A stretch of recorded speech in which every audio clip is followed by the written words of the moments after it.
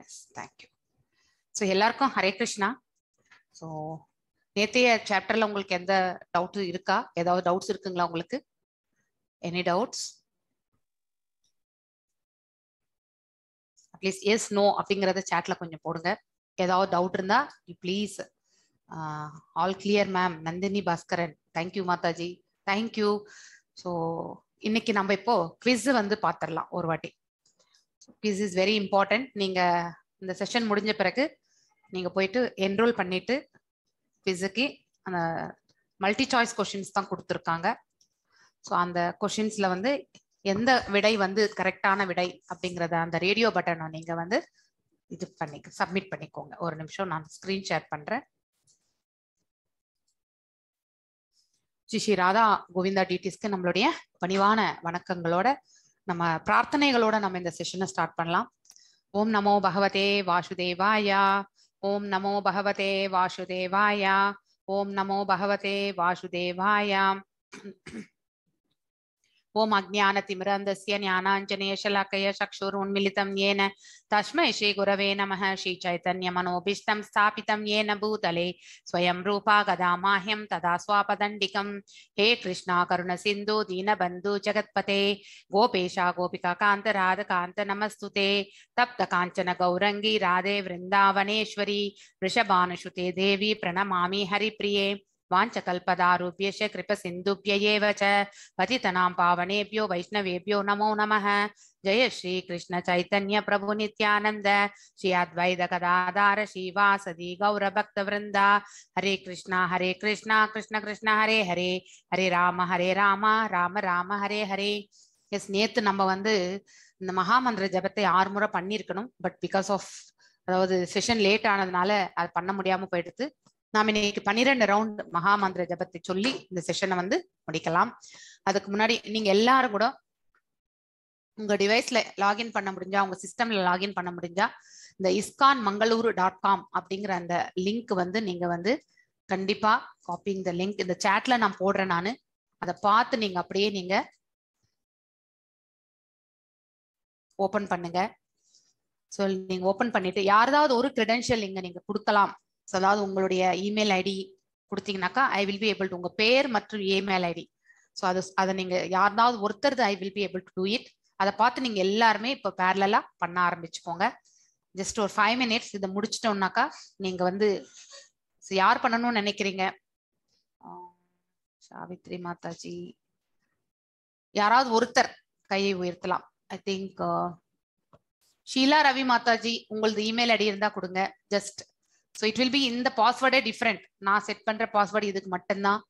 S Mataji S Mataji உங்களுடைய email ID இருந்தா கொடுங்க Mataji yes thank you thank you Mataji thank you very much நான் உங்களுடைய இமெயில் ஐடி வச்சு ஒரு பாஸ்வேர்ட் செட் பண்றேன் நான்.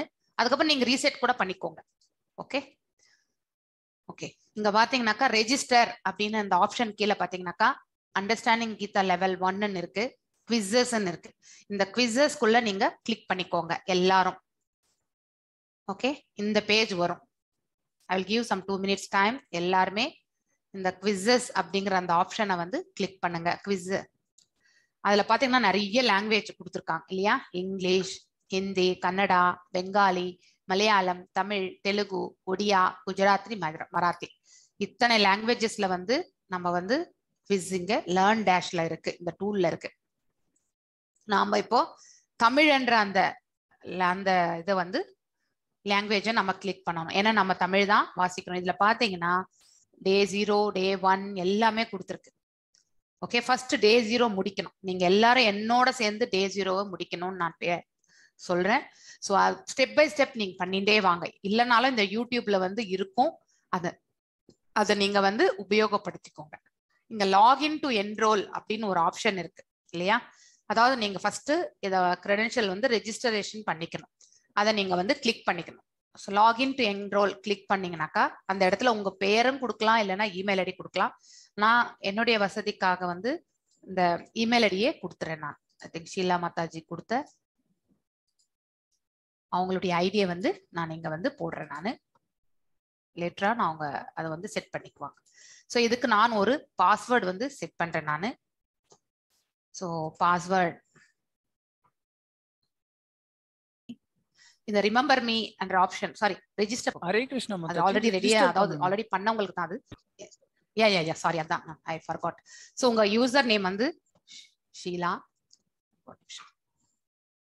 யூசர் நேம் வந்து நீங்க வந்து I am giving the email ID கொடுத்துறேன் நான் யூசர் நேம் ஃபர்ஸ்ட் பேர் உங்களது ஷீலா. செகண்ட் பேர் ரவி அப்படின்னு கொடுத்துருக்கேன். அகைன் கான்டாக்ட் இன்ஃபர்மேஷன் வந்து இது வந்து பாஸ்வேர்ட் நான் இங்க செட் பண்றேன். உங்களுக்கு ஈஸியா இருக்கணுன்றதுக்காக நான் அதுக்கப்புறம் நீங்க ரீசெட் பண்ணிக்கோங்க. Okay I am not the robot அந்த பட்டனையும் நம்ம டிக் பண்ணணும். I allow the website to collect and store the data I submit through this form இல்லையா? இங்க செட் பண்ணக்கூடிய பாஸ்வேர்டு உங்க இமெயில் பாஸ்வேர்டு கிடையாது. உங்களோட இமெயில் பாஸ்வேர்டு நீங்க யாரும் இதுல பண்ணாதீங்க. So that is not right ஏன்னா அது பிரைவசி ஸோ இங்க இந்த இதுக்கு மட்டும் லாகின்க்கு உங்க இமெயில் ஐடி யூஸ் பண்ணுங்க. செட் பண்ணும்பொழுது ஒரு டெம்பரரி பாஸ்வேர்ட் உங்களுக்கு ஈஸியா ஞாபகம் வச்சுக்கிறத மாதிரி வச்சுக்கோங்க. அது ஒன்லி ஃபார் திஸ் இந்த வெப்சைட் லாகினுக்கு மட்டும் யூஸ் பண்ணிக்கணும் நீங்க. Send the credentials via email இந்த ரெண்டுத்தையுமே செக் பாக்ஸ் நம்ம வந்து அதை செலக்ட் பண்ணணும். அதுக்கப்புறம் ரெஜிஸ்டர் அப்படின்னு ஒரு ஆப்ஷன் இருக்கீங்க. அதை வந்து நாம வந்து கிளிக் பண்ணணும். கிளிக் பண்ண பிறகு உங்களுக்கு வந்து இமெயில் வந்து வரும். The account has been successfully created அப்படின்ட்டு ஒரு இந்த மெசேஜ் வந்து டிஸ்ப்ளே ஆகும். ஸோ ஷீலா மாதாஜி உங்களுடைய மெயில்ல நீங்கள் செக் பண்ணீங்கனாக்கா உங்களுக்கு வந்து ஒரு இமெயில் வந்திருக்கும். கொஞ்சம் அன்மியூட் பண்ணி சொல்றீங்களா? இஃப் யூ டோன்ட் மைண்ட் வந்திருக்கா இல்லையான்னு? ஆர் அட்லீஸ்ட் யூ இந்த சாட் விண்டோலையாவது போடுங்க. ஒருவேளை இன்பாக்ஸ்க்கும் வந்திருக்கலாம் இல்லைன்னா ஃபேமிலியும் இருக்கும். ரெண்டுத்துல ஒன்று எஸ் செக் பண்ணுங்க மாதாஜி.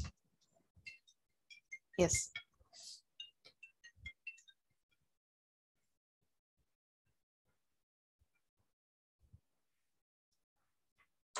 எஸ் ஐ காட் அந்த மெயில்ல என்ன மாதாஜி சொல்லியிருக்காங்க?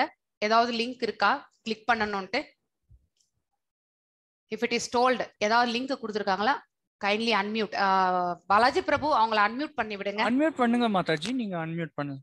ஆ ஓகே. இல்ல ஆயிரத்துல சரி அதுல வந்து கொடுத்திருக்காங்க welcome to course ISKCON Mangaluru dot com user name and your password is the one that you have to select during registration correct. Access your account here அப்படின்ட்டு ஒரு லிங்க் கொடுத்திருக்காங்க. அந்த கிளிக் பண்ணுங்க. அந்த அப்படின்னா அப்பதான் நம்மளால வந்து இந்த அக்கௌண்ட்டை வந்து ஆக்சஸ் பண்ண முடியும். நீங்க அந்த லிங்கை வந்து click பண்ணீங்கன்னாக்கா it will get enabled actually so that நான் போய் இப்போ. மறுபடியும் லாகின் பண்ணிடுவேன் ஓகே கரெக்ட் சோ அதுல வந்து வந்துருது. இப்போ நான் லாகின் ஆயிடுது என்னோடது. அண்ட் இப்போ அதுல ஒரு ஸ்கிரீன் வந்திருக்கு. In that it is asking understand understand Gita in eighteen days ஒரு டேப். நெக்ஸ்ட் டேப் வந்து இன்ட்ரெஸ்டிங் குவிசஸ் அண்ட் தேர்ட் டேப்ல வந்து ஸ்டடி மெட்டீரியல்னு இருக்கு. ஆமா. ஸ்டடி மெட்டீரியல் வேணும்னா நீங்க டவுன்லோட் பண்ணிக்கோங்க. சரிங்களா? எல்லாருக்குமே வந்து ஸ்டடி மெட்டீரியல் இருக்கும். ஸோ நீங்க அதை சாஃப்ட் காப்பி வந்து டவுன்லோட் பண்ணி வச்சுக்கோங்க. ஓகே ஆ. நான் இப்போ வந்து இந்த இதுலயே வந்து லாகின் சேம் அதே வெப் பேஜ்ல போனீங்கன்னாக்கா மறுபடியும் இந்த ஆல் கோர்சஸ்ல போகும் பொழுது மீண்டும் வந்து ஹோமுக்கு போயிடலாம். நான் வந்து ஹோம் தான் போறேன் நான். இல்லைன்னா லாகின் டைரக்டா போகலாம் ஸோ நீங்க இங்க போனாலும். வந்து லாகின் வரும். இந்த இது கரெக்ட் இல்லையா? இந்த ஸ்க்ரீன் தான் உங்களுக்கு வந்திருக்கும். இத வந்து நீங்க வந்து டவுன்லோட் பண்ணிக்கோங்க. குவிசஸ்ன்னு இருக்கு இல்லையா? அட்வான்ஸ் லெவல் கோர்சஸ் எல்லாமே இருக்கு. இங்க ஆல் கோர்சஸ் இருக்கு இல்லைங்களா? அந்த ஆல் கோர்சஸ் கீழே வந்து but sorry register sorry register. Register வந்து முடிஞ்சிடுச்சு. லாகின் கரெக்ட் லாகின் அந்த ஆப்ஷன் வந்து நீங்க கிளிக் பண்ணணும். லாகின் ஆப்ஷன்ல வந்து மீண்டும் அந்த உங்களுடைய பெயரு அதுக்கப்புறம். வந்து பாஸ்வேர்ட் நீங்க எனக்கு பாஸ்வேர்ட் வந்து ஹரே கிருஷ்ணா ஜீரோ ஒன் கொடுத்துருக்கீங்க ஆமா கேபிட்டல்? கொடுத்தேன் மாதாஜி. கேபிட்டல்ல கொடுத்தேன் நானு. I don't know it's not take. ஒரு நிமிஷம். Yes capital H Mataji. Okay அப்பதான் அது உள்ள போகுது. ஐ திங்க் ஸ்மாலர் கேஸ் பண்ண. இப்போ வந்து யூஆர் லாக்ட் இன் எல்லாருமே இது மாதிரி பண்ண முடிஞ்சதா? அட்லீஸ்ட் எஸ் ஆர் நோ அப்படிங்கறது வந்து கண்டிப்பா நீங்க அந்த சாட்ல போடணும். இது ஒரு சிம்பிள் ப்ராசஸ் ஸோ நீங்க வந்து இது எல்லாருமே இதுல போடணும். அது முடிஞ்ச பிறகு ஐ ஐ எக்ஸ்பெக்டிங் ரிப்ளை எல்லார்கிட்ட இருந்தும் பதில் எதிர்பார்க்கின்றேன். Yes thank you Mataji. Nandini Baskaran Mataji.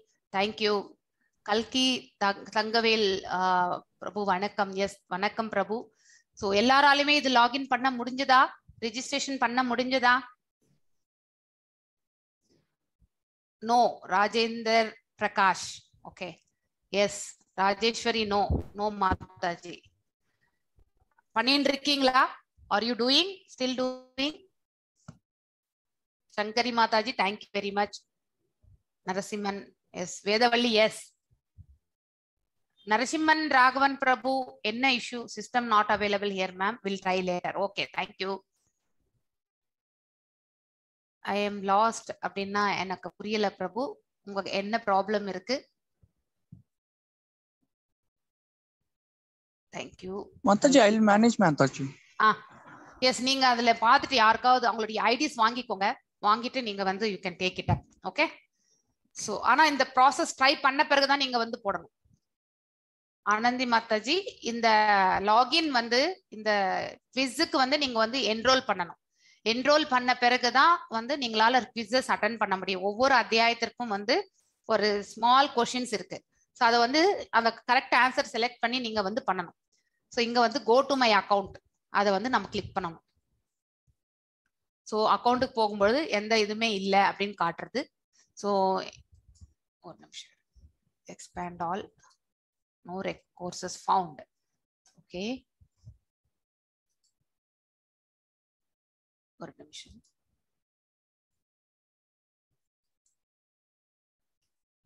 I think நம்ம அந்த செலக்ட் கோர்ஸுக்கு போயிருக்கணும். ஓகே ஆல் கோர்சஸ்ல போன பிறகு இங்கே வரோம் actually Tamil English Telugu Hindi Kannada kids இது. Eighteen days வந்தீங்கன்னாக்கா yes Malayalam Telugu Odia English Tamil. So இங்கே வந்து நீங்கள் வந்து இங்கேயும் வந்து enroll take the course already நீங்கள் லாகின் ஆயிட்டீங்க. அதனால வந்து it's still in login page தான் இருக்கு. Take this course get started so இது வந்து டேக் திஸ் கோர்ஸ் வந்து பார்க்குறோம் நம்ம. இந்த ஃபர்ஸ்ட் Mataji, இது kids code இது. ஒரு நிமிஷம் ஒரு நிமிஷம் இருங்க.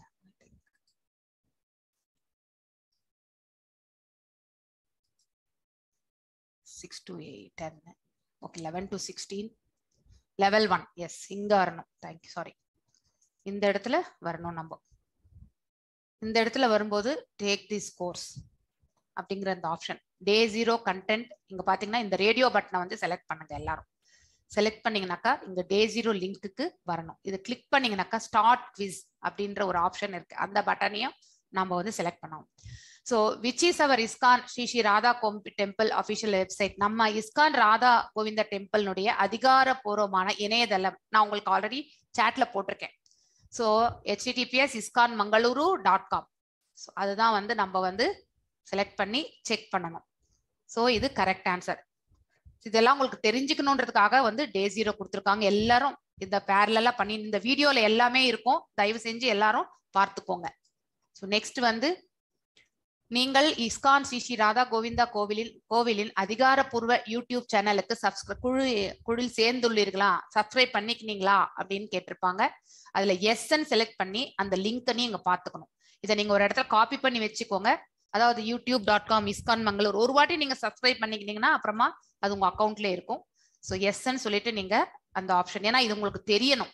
ஸோ நீங்க போயிட்டு வ- அந்த வெப்சைட்ல தேடினீங்கனாக்க உங்களுக்கு கிடைக்கணும் இல்லையா? ஸோ அது நீங்க அட்டன் பண்ண கோர்சஸ் எல்லாமே அதுக்காக தான் இது. அதுக்கப்புறம் வந்து எங்கள் இஸ்கான் ஸ்ரீ ஸ்ரீ ராதா கோவிந்தா கோவிலின் அதிகாரப்பூர்வ முகநூல் பக்கத்தை தொ- பின்தொடர்கிறீர்களா? அதாவது ஃபேஸ்புக் ஃபேஸ்புக்கை வந்து நீங்க ஃபாலோ பண்றீங்களா? அப்படின்றது கூட எஸ்ன்னுட்டு இந்த ஃபேஸ்புக் அக்கௌண்ட்டையும் நீங்க வந்து உங்க இன்வைட் ஃப்ரெண்ட் அந்த இதுல வந்து ஒரு ஆப்ஷன் இருக்கும் இல்லையா? அதுல போய் நீங்க செலக்ட் பண்ணிக்கோங்க. ஸோ யாரெல்லாம் ஃபேஸ்புக்ல தீவிரமா இருக்கிறீங்களோ அவங்க இந்த லிங்க்கை வந்து இது பண்ணிக்கோங்க. இதெல்லாம் உங்களுக்கு தேவைப்படும். ஃபியூச்சர்ல ஏதாவது போஸ்டிங்ஸ் அதெல்லாம் வரும் இல்லையா? அதை நீங்க தெரிஞ்சுக்கணுன்றதுக்காக தான். கரு இஸ்கான் மங்களூர் இணையதளத்துக்கு சென்று வினாடி வினாவிற்கு பதிவு செய்துள்ளார். என்ரோல்மெண்ட் இப்ப நீங்க எல்லாருமே என்ரோல்மெண்ட் செய்துன்னு இருக்கீங்க இல்லையா? இந்த https ISKCON Mangalore dot com slash quizzes அப்படின்னு போட்டிங்கனாலே உங்களுக்கு வந்து அந்த லிங்க் வந்து ஓப்பன் ஆகிடும் ஸோ டைரெக்டாக குவிஸ் லிங்க் ஓப்பன் ஆகும். ஓகே இது நெக்ஸ்ட் அடுத்து வந்து பாடநெறி வகுப்பு தே நேர மாற்றங்கள் வினாடி விடா சிக்கல்கள் மற்றும் பாடநெறி தொடர்புக்கான கேள்விகள் யாரை தொடர்பு கொள்ளலாம்? அட்மின் அதாவது அட்மினை தொடர்பு கொள்ளலாம் இல்ல கோஹோஸ்ட தொடர்பு கொள்ளலாம் வாலண்டியர் சப்போர்ட் இருக்கு. அவங்கள இந்த மூணு பேருமே வந்து நீங்க தொடர்பு கொள்ளலாம் இப்போ நம்ம குரூப்புக்கு வந்து பாலாஜி பிரபு கோஹோஸ்ட் மற்றும் அட்மின் நீங்க வந்து அவர்கிட்ட வந்து தொடர்பு கொள்ளலாம் he will be able to help you so all the able அதாவது எல்லாருமே. மேலும் காயத்ரி மாதாச்சின்னு ஒருத்தவங்க அந்த குரூப்ல இருக்காங்க. ஸோ அவங்களுக்கும் நீங்க வந்து அந்த அட்ரஸ் பண்ணி மெசேஜ் மட்டும் பண்ணுங்க கால் பண்ணாதீங்க. யாருக்குமே பர்சனல் கால்ஸ் என்டர்டெயின் பண்ணிக்க வேண்டாம். ஏன்னா எவ்ரி ஒன் இஸ் ஒர்க்கிங்ன்றதுனால வந்து நீங்க ஜஸ்ட் வாட்ஸ்அப் மெசேஜ் போட்டுட்டு யாராவது உங்களுக்கு ஹெல்ப் கிடைக்கலனாக்கா நெக்ஸ்ட் டே கிளாஸ்ல வந்து நீங்க அப்டேட் பண்ணுங்க. கண்டிப்பா அதற்கான ஒரு இது உங்களுக்கு ஹெல்ப் கிடைக்கும். So what is the etiquette வகுப்பில் கடைபிடிக்க வேண்டிய ஒழுக்க முறை என்ன? ஒழுங்குமுறை என்ன? அப்படின்றது வந்து பார்க்கணும். அதாவது தொடர்ந்து தவறாமல் வகுப்புகளில் கலந்து கொள்ளவும். அதுக்கப்புறம் வந்து ஜூன் நேரடி வகுப்பில் அல்லது யூடியூபில் சேனலை பார்க்கலாம். வகுப்பில் உள்ள அனைவரிடமும் மரியாதையிடம் இருக்க வேண்டும் நாம். இல்லையா? ரெஸ்பெக்டா பேசணும் ரெஸ்பெக்டை நம்ம மெயின்டைன் பண்ணிக்கணும். ஸோ கிவ் ரெஸ்பெக்ட் டேக் ரெஸ்பெக்ட்ன்றதுல இதுல வகுப்பில் அல்லது வாட்ஸ்அப் குழுவில் கொள் தொடர்பு கொள்ளும் கவனத்துடன் இருங்கள். அது மேலே உள்ள அனைத்தும் தான். அதாவது நமக்கு வந்து மேலே இருக்கக்கூடிய அனைத்தும் தான் நம்ம வந்து ஃபாலோ பண்ணணும். எப்படி கனெக்டிவிட்டி எடுத்து எல்லார்கிட்டயும் தெரிஞ்சுக்கிறது யார்கிட்ட கேட்கணும் அப்படின்னாக்கா we should check in that WhatsApp actually next வந்து வகுப்பு பாடம் வினாடி வினா அல்லது வேறு ஏதாவது பற்றி எனக்கு ஏதேனும் கேள்விகள் இருந்தால் என்ன செய்வது அப்படின்னாக்கா ஹேண்ட் ரைஸ் பண்ணணும். கிளாஸ்லேயே நீங்க ஹேண்ட் ரைஸ் பண்ணலாம். கிளாஸ் செஷன் முடிஞ்ச பிறகு உங்க கொஸ்டின் ஆன்சர்ஸ் வந்து அட்ரஸ் பண்ணுவாங்க. இறுதியில் இறுதியில வகுப்பு இறுதியில வந்து கியூஎன்ஏ செஷன் உண்டு. அந்த இடத்துல நீங்க கேட்கலாம் இல்லை சேட்டில் போடுங்க. ஸோ இந்த ரெண்டு மூணு விதத்துலையுமே நீங்க உங்களுடைய டவுட் எல்லாமே கிளியர் பண்ணிக்கலாம்.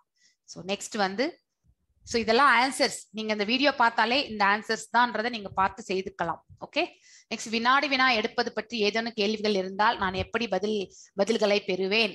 ஃபாலோ த இன்ஸ்ட்ரக்ஷன்ஸ் போஸ்ட் பண்ணுவாங்க. வாட்ஸ்அப்ல வந்து எப்படி இதை வினாடி வினை பண்றதுன்னு பற்றி ஒரு போஸ்டிங் வரும். அதாவது ஒரு வீடியோ கூட வரும்.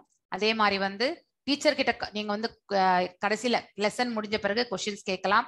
இல்லது நீங்க வாட்ஸ்அப் குரூப்ல ஏதாவது மெசேஜ்ல அட்மின் அந்த வாட்ஸ்அப் அட்மின் கிட்ட வந்து நம்ம பாலாஜி பிரபு கிட்ட நீங்க கேட்கலாம். ஸோ இது ஆல் த எபவ் தான் ரைட் எல்லாம் மேலே உள்ள அனைத்தும் தான் வந்து ரைட்டான ஆன்சர் ஸோ நெக்ஸ்ட் வந்து இ புக்ஸ் எல்லாமே நீங்க அந்த டவுன்லோட் பண்ணிக்கணும் நீங்க. இருக்கு அந்த இதுல. அது எல்லாமே ஃப்ரீ அதனால வந்து மின் புத்தகங்கள் இலவசம். அதை நீங்க வந்து கண்டிப்பா எடுத்துக்கலாம். ஆல் புக்ஸ் ஃப்ரீ கிடையாது. மின் புக் மட்டும்தான் ஃப்ரீ அதாவது சாஃப்ட் காப்பி மட்டும்தான் உங்களுக்கு ஃப்ரீயா கிடைக்கும். அதை நீங்க வந்து டைரக்டா நீங்க வந்து டவுன்லோட் பண்ணிக்கலாம். ஹார்ட் காப்பி வேணும்னா நீங்க வந்து ஆன்லைன்ல தான் ஆர்டர் பண்ணணும். ஸோ வினாடி வினா இளையதளத்துக்கு என்- எனது சான்றிதழ் எவ்வாறு பெறுவது? இந்த பதினெட்டு நாட்கள் முடிஞ்ச பிறகு அங்கேயே கம்ப்ளீஷன் ஆஃப் ஆல் பீசஸ் பண்ண பிறகு உங்களுக்கு அங்கேயே டவுன்லோட் ஆப்ஷன் இருக்கும். அப்ப நீங்க அந்த செவன்டீன்த் சிக்ஸ்டீன்த் அத்தியாயம் வரும்போது நம்ம பாலாஜி பிரபு உங்களுக்கு பண்ணுவாரு. இமெயிலில் வராது. அதுக்கப்புறம் வந்து பை டேக்கிங் குவிஸ் லேண்ட் இந்த டேஷ்போர்டில் போய் நீங்க எடுத்துட்ட பிறகு டைரெக்டாவே நீங்க அங்கேருந்து டவுன்லோட் பண்ணிக்கலாம். சர்டிஃபிகேட் வந்து இங்கே டவுன்லோட் வந்துடும் ஓகே ஸோ இது முடிஞ்ச பிறகு ஃபினிஷ் குவிஸ் ஸோ இதுதான் ஆன்சர்ஸ் இதெல்லாம் படிச்சு தெரிஞ்சுட்டு நீங்க வந்து ஃபில் பண்ணுங்க. ஓகே கிளிக் இயர் டு கன் கண்டினியூ இது வந்து நெக்ஸ்ட் இதுக்கு போறது தான் நீங்க வந்து. அடுத்த அத்தியாயம். ஸோ இங்க வந்து ஸ்டார்ட் ஃபிஸ்ன்னு இருக்கும். இந்த ஸ்டார்ட் ஃபிஸ் எடுத்துட்டு நீங்க பாத்தீங்கன்னாக்கா தெரியும். ஸோ நிறுவன ஆச்சாரியார் அது அதாவது யார் இந்த நிறுவன ஆச்சாரியார் அப்படிங்கிறது வந்து நமக்கு தெரியணும் இல்லையா? ஸோ இதுல இந்த பேர் இருக்கு. அதை பார்த்து நீங்க வந்து பண்ணணும். ஓகே ஷீலா ரவி மாதாஜி நான் லாக் அவுட் பண்ணிக்கிறேன். ஏதாவது டவுட்ஸ் இருக்குங்களா? டிவோட்டிஸ் டவுட்ஸ் இருந்தா ஹேண்ட் ரைஸ் பண்ணுங்க Right. நாங்க இப்போ பண்ணிட்டு இருக்கும்போது குவிஸ் அட்டெண்ட் பண்ணிட்டு இருக்கும்போது. நடுவுல லைன் கட் ஆயிடுது இல்ல இன்டர்நெட் ப்ராப்ளம் ஆயிடுதுன்னா நாங்க திருப்பி லாகின் பண்ணி Yes, திருப்பி பண்ணும்போது லாகின் பண்ணும்போது நீங்க உங்களுக்கு வந்து கண்டிப்பா ஒர்க் ஆகும் அதாவது நீங்க பிகினிங்ல இருந்து போகுமா இல்ல இப்ப நான் உங்களுக்கு அந்த டே ஒன் முடிச்சிட்டேன் நான் உங்களுக்கு இல்லையா டே ஜீரோ ஆமா. முடிச்சாச்சு ஆ. So இது வந்து பாத்தீங்கன்னா இந்த. ஆரஞ்சு கலர் இருக்கு பாருங்க. That will show the completion status black கலர்ல. இருக்கு கோ பேக். சோ அதாவது ஃபர்ஸ்ட் சாப்டர் முடிச்சாதான் செகண்ட் சாப்டருக்கே போக முடியும். நடுநடுல போக முடியாது. Okay go back to course பாத்தீங்கன்னா இந்த மாதிரி டிக் பண்ணிருக்கோம். அதாவது நீங்க கம்ப்ளீட் பண்ணிருக்கீங்கன்னு அர்த்தம். சோ நெக்ஸ்ட் இந்த சாப்டர் கிளிக் பண்ணிட்டு ஓபன் பண்ணணும். ஓபன் பண்ணிட்டு ஒரு ஒரு கொஸ்டினா நீங்க பண்ணிட்டே வரணும். முடிஞ்ச பிறகு அதே மாதிரி இந்த டிக் மார்க் அங்க எனேபிள் ஆயிருக்கும். ஓகேங்களா? ஒவ்வொரு அத்தியாயமா இருக்கணும். As long as நீங்க ஃபினிஷ் ஸ்குவிஸ் அப்படின்னு சொல்ற வரைக்குமே நீங்க கம்ப்ளீஷன் பண்ணலன்னு அர்த்தம். Okay yes Manjula Venkata Chetty Mataji. சொல்லுங்க மாதாஜி. அன்மியூட் பண்ணி பேசலாம். மாதாஜி? ஆ சொல்லுங்க மாதாஜி. போன வாட்டி செஞ்சோம் இல்லைங்களா? அதே லிங்க் ஆகுதுங்களான்னு சொல்லி கேட்கலான்ட்டு நீங்க லாஸ்ட் டைம் அட்டன் பண்ணீங்களா மாதாஜி? ஆமாங்க மாதாஜி. அப்ப பண்ணிட்டீங்களா? நீங்க சர்டிபிகேட் வாங்கிட்டீங்களா? ஆ வாங்கிட்டுங்க. அப்ப நீங்க கம்- அதாவது நீங்க வந்து just you be a listener கேட்டுக்கோங்க. ஏன் நீங்க லெவல் டூ சேரவே இல்ல? சேர்ந்து இருக்கும் மாதாஜி. அதுவும் சரி. இதுவும் இன்னொரு வாட்டி ஓகே இன்னொரு வாட்டி. கேளுங்க. அப்பனா யூ கிவ் லாஸ்ட் டைம் அதாவது இன்னொரு வாட்டி பண்றவங்க வந்து நோ நீட் ஆல்ரெடி ஒரு வாட்டி சர்டிபிகேட் வாங்குனவங்க இது. தேவையில்லை உங்களுக்கு. ஓகே சரி சரி மாதாஜி. எஸ் டவுட் நீ டவுட்ஸ் நான் லாக் அவுட் பண்ணிக்கிறேன்.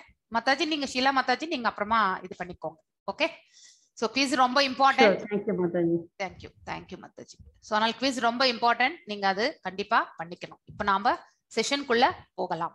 ஓகே ஹரே கிருஷ்ணா மாதாஜி ஹரே கிருஷ்ணா பிரபு ரெக்கார்டிங் எனக்கு எது ப்ராப்ளமா இருக்குன்னு நினைக்கிறேன் மாதாஜி நான் என்ன பண்ணிக்கிட்டுமா? எஸ் மாதாஜி ஓகே ஒரு நிமிஷம் இருங்க. நீங்க அது ஸ்டாப் பண்றதுக்கு முன்னாடி நான் இங்க ரெக்கார்டிங் ஸ்டார்ட் பண்றேன். ஓகே நான் ரெக்கார்டிங் ஸ்டார்ட் பண்ணிட்டேன். நீங்க வந்து பண்ணி நீங்க வேணா ஸ்டாப் பண்ணிக்கோங்க.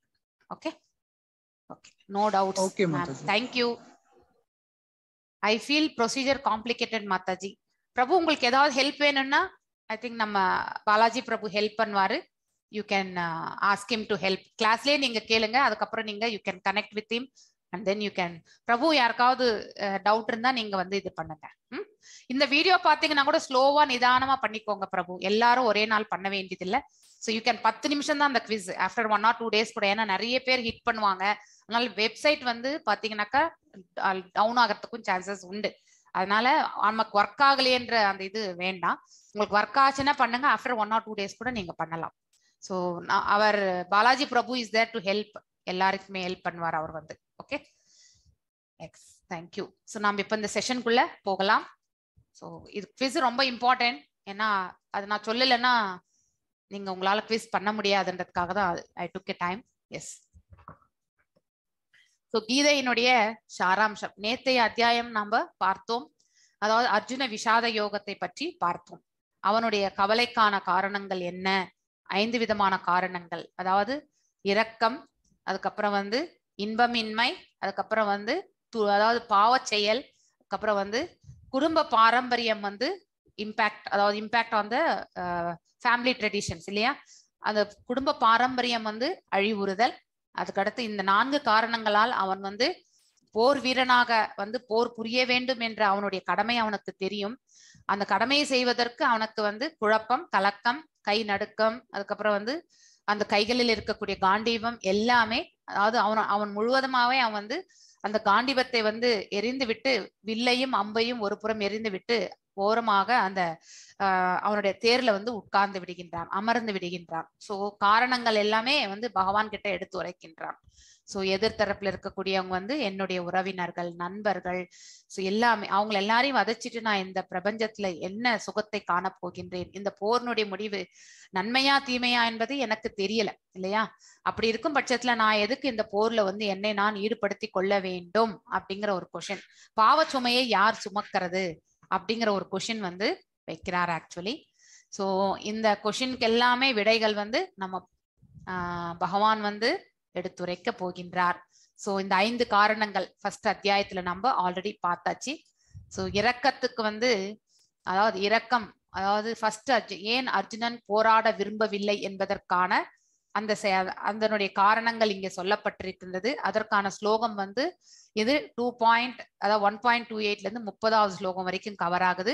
அதுக்கப்புறம் இன்பமின்மை வந்து முப்பத்தி ஒன்னு முப்பத்தி ஆறு வந்து பாவச்செயல் அதுக்கு மேல வந்து இருமணம் ஸோ இதெல்லாமே வந்து வரும். ஸோ அந்த பிரைமரி சம்மரியில போனா நமக்கு எல்லாமே தெரிய ஆரம்பிக்கும். ஒரு நிமிஷம் இருங்க.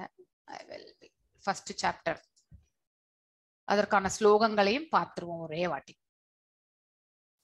தேர்ட்டி சிக்ஸ் இது எல்லாமே நாம் பார்த்தோம். எஸ் அதாவது இறக்கத்திற்கு வந்து ஒன் இருபத்தி எட்டாவது ஸ்லோகம் ஃபர்ஸ்ட் சாப்டர்ல அதுக்கடுத்து இன்பமின்மை வந்து முப்பத்தி ஓராவது ஸ்லோகம். பாவச்செயல் வந்து முப்பத்தி ஆறாவது ஸ்லோகம். நாற்பத்தஞ்சு வந்து குடும்ப பாரம்பரியம்னுடைய இம்பாக்ட் இருமணம் வந்து நாற்பத்தி ஆறாவது ஸ்லோகம். இதுதான் நம்ம நேர்த்திய அத்தியாயத்துல பார்த்தது. ஆனா அதற்கான பதில்கள் எல்லாமே விளக்க உரைகள் வந்து நம்ம ஆஹ் நம்ம பகவான் வந்து இந்த செகண்ட் கேண்டோல வந்து எடுத்துரைக்கின்றார். இது வந்து செகண்ட் சாரி செகண்ட் அத்தியாயத்துல வந்து சொல்றார். சோ என் இந்த பாவம் என்று சொல்வதற்கு அதற்கான விளக்க உரைகள் அதுக்கப்புறம் வந்து இன்பமின்மை என்பதற்கான அதற்கான உரை அதாவது விளக்க உரைகள் எல்லாமே பகவான் வந்து எடுத்துரைக்கின்றார். சோ இரக்கம் என்பது அவர் வந்து இந்த பதினு பதினோராவது ஸ்லோகத்துல இருந்து முப்பதாவது ஸ்லோகம் வரைக்குமே கவர் பண்றார். சோ அதுல வந்து ஞான யோகத்தின் மீது அவருடைய பதில்கள் இருக்கின்றது. ஞானம் என்றால் நாலேஜ் ஸோ நாலேஜ் என்றால் என்ன? ஃபர்ஸ்ட் ஆஃப் ஆல் நமக்கு அது தெரியணும் இல்லையா? நாம் எல்லாருமே நிறைய ஏட்டுக்கல்வி படிச்சிருக்கோம். டாக்டர் என்ஜினியர் வக்கீல். ஸோ பற்பல பதவிகளை நாம வந்து ஒரு சார்ட்டர்ட் அக்கௌண்டன்ட் இந்த மாதிரிலாம் நம்ம பதவிகளை வகுத்துட்டு இருக்கோம் இல்லையா? நமக்கும் இந்த இன்டெலிஜென்ஸ் வேலை செய்யுது இல்லையா? பகுத்தறிவு வந்து வேலை செய்கின்றது. ஆனா அது ஞானம் கிடையாது. அது எல்லாமே நாம இந்த பிரபஞ்சத்துல வாழ்வதற்கு நம்ம அந்த ஸ்கில்ஸ் எல்லாத்தையுமே வந்து டெவலப் பண்ணிக்கிறோம். அதாவது தேவையான அளவுக்கு நமக்கு அறிவு என்ன வேணுமோ இந்த பிரபஞ்சத்துல வாழ்றதுக்கு நமக்கு அறிவு தேவை. அதை அறிவை உபயோகப்படுத்தி தான் ஒரு செயலில் நம்மளால ஈடுபட முடியும். அந்த பகுத்தறிவை தான் நாம இங்கே வளர்த்து கொள்கின்றோம். உண்மையான ஞானத்துல நம்ம வந்து இந்த பரத கண்டம் ஒரு தர்மமான ஒரு பூமி இங்கேதான் அனைத்து வேதங்களுக்கான இதெல்லாமே நட நிகழ்ந்திருக்கின்றது. இருந்தாலுமே நம்ம எந்த ஒரு கல்வி பாடசாலையில வந்து ஞானத்தை பற்றியான அந்த போதிப்பதே கிடையாது. சோ நாம யார் என்பதே வந்து நிறைய பேருக்கு அதாவது ninety five percent of ninety eight percent of population வந்து நாம எல்லாருமே பாடிலி ஐடென்டிஃபிகேஷன்ல தான் நம்மளுடைய செயல்பாடுகளை செய்து கொள்கிறோம் இல்லையா? அதாவது நம்மளோட ரிலேஷன்ஷிப் எல்லாம் கூட பாடிலி ஐடென்டிஃபிகேஷன் ஸோ உண்மையிலே வந்து இந்த பிரபஞ்சத்துல நாம யாருடையுமே ரிலேஷன்ஷிப்பே கிடையாதுன்றதான் நம்ம சொல்லணும். ஏன்னா இந்த பிறவில நமக்கு வந்து இவர்கள் தாய் தந்தை இவர் நம் பிள்ளைகள். ஆனா அடுத்த பிறவி அதே குடும்பத்துல நாம் இருப்போமா? கண்டிப்பா கிடையாது. அதே ப்ராப்பர்ட்டிஸை நாம ஓன் பண்ணுவோமா? கண்டிப்பா கிடையாது. இந்த புவியை விட்டு சென்ற பிறகு நமக்கும் நம்ம கிட்ட கோடிக்கணக்கில் ஆஸ்தி இருந்தாலுமே அது எல்லாமே தூசிக்கு சமமாக ஆகிவிடுகின்றது. ஏனென்றால் நம்முடைய கூட்டுல இருக்கக்கூடிய இந்த அந்த உயிர் வந்து பிரிந்த பிறகு இந்த கூடு வந்து வேஸ்டான ஒரு ஒரு டெட் பாடியாக தான் நம்ம வந்து அதை வந்து சொல்கின்றோம். ஸோ நாம் உடல் அல்ல அப்படிங்கிறத வந்து ஃபர்ஸ்ட் நாம ஐடென்டிஃபிகேஷன் செய்யணும். அது ரொம்ப முக்கியம்.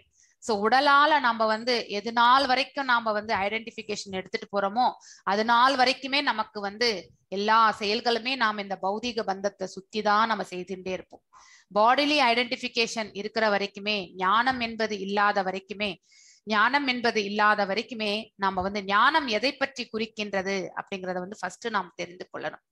இந்த உடல் மற்றும் ஆன்மாவை பற்றி எடுத்துரைப்பதுதான் ஞானம். That is called as a confidential knowledge நீங்க confidential knowledge the more confidential knowledge the most confidential knowledge எல்லாமே படிப்பீங்க.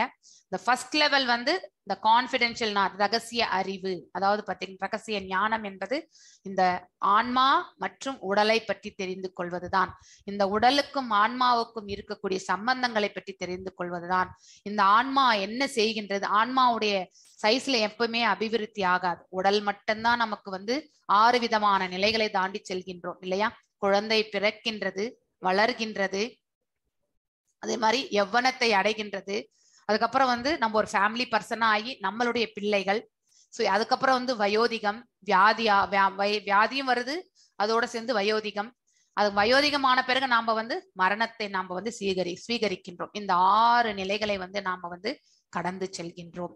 ஆனா இந்த ஆன்மால எந்த மாற்றமும் வருவது கிடையாது. எவ்வாறு அந்த பரம்பொருள் வந்து அனாதியானவன் ஆதியானவன் என்று நாம வந்து எல்லா அதாவது பிரம்ம சமீதையிலுமே ரெஃபரன்ஸ் இருக்கு.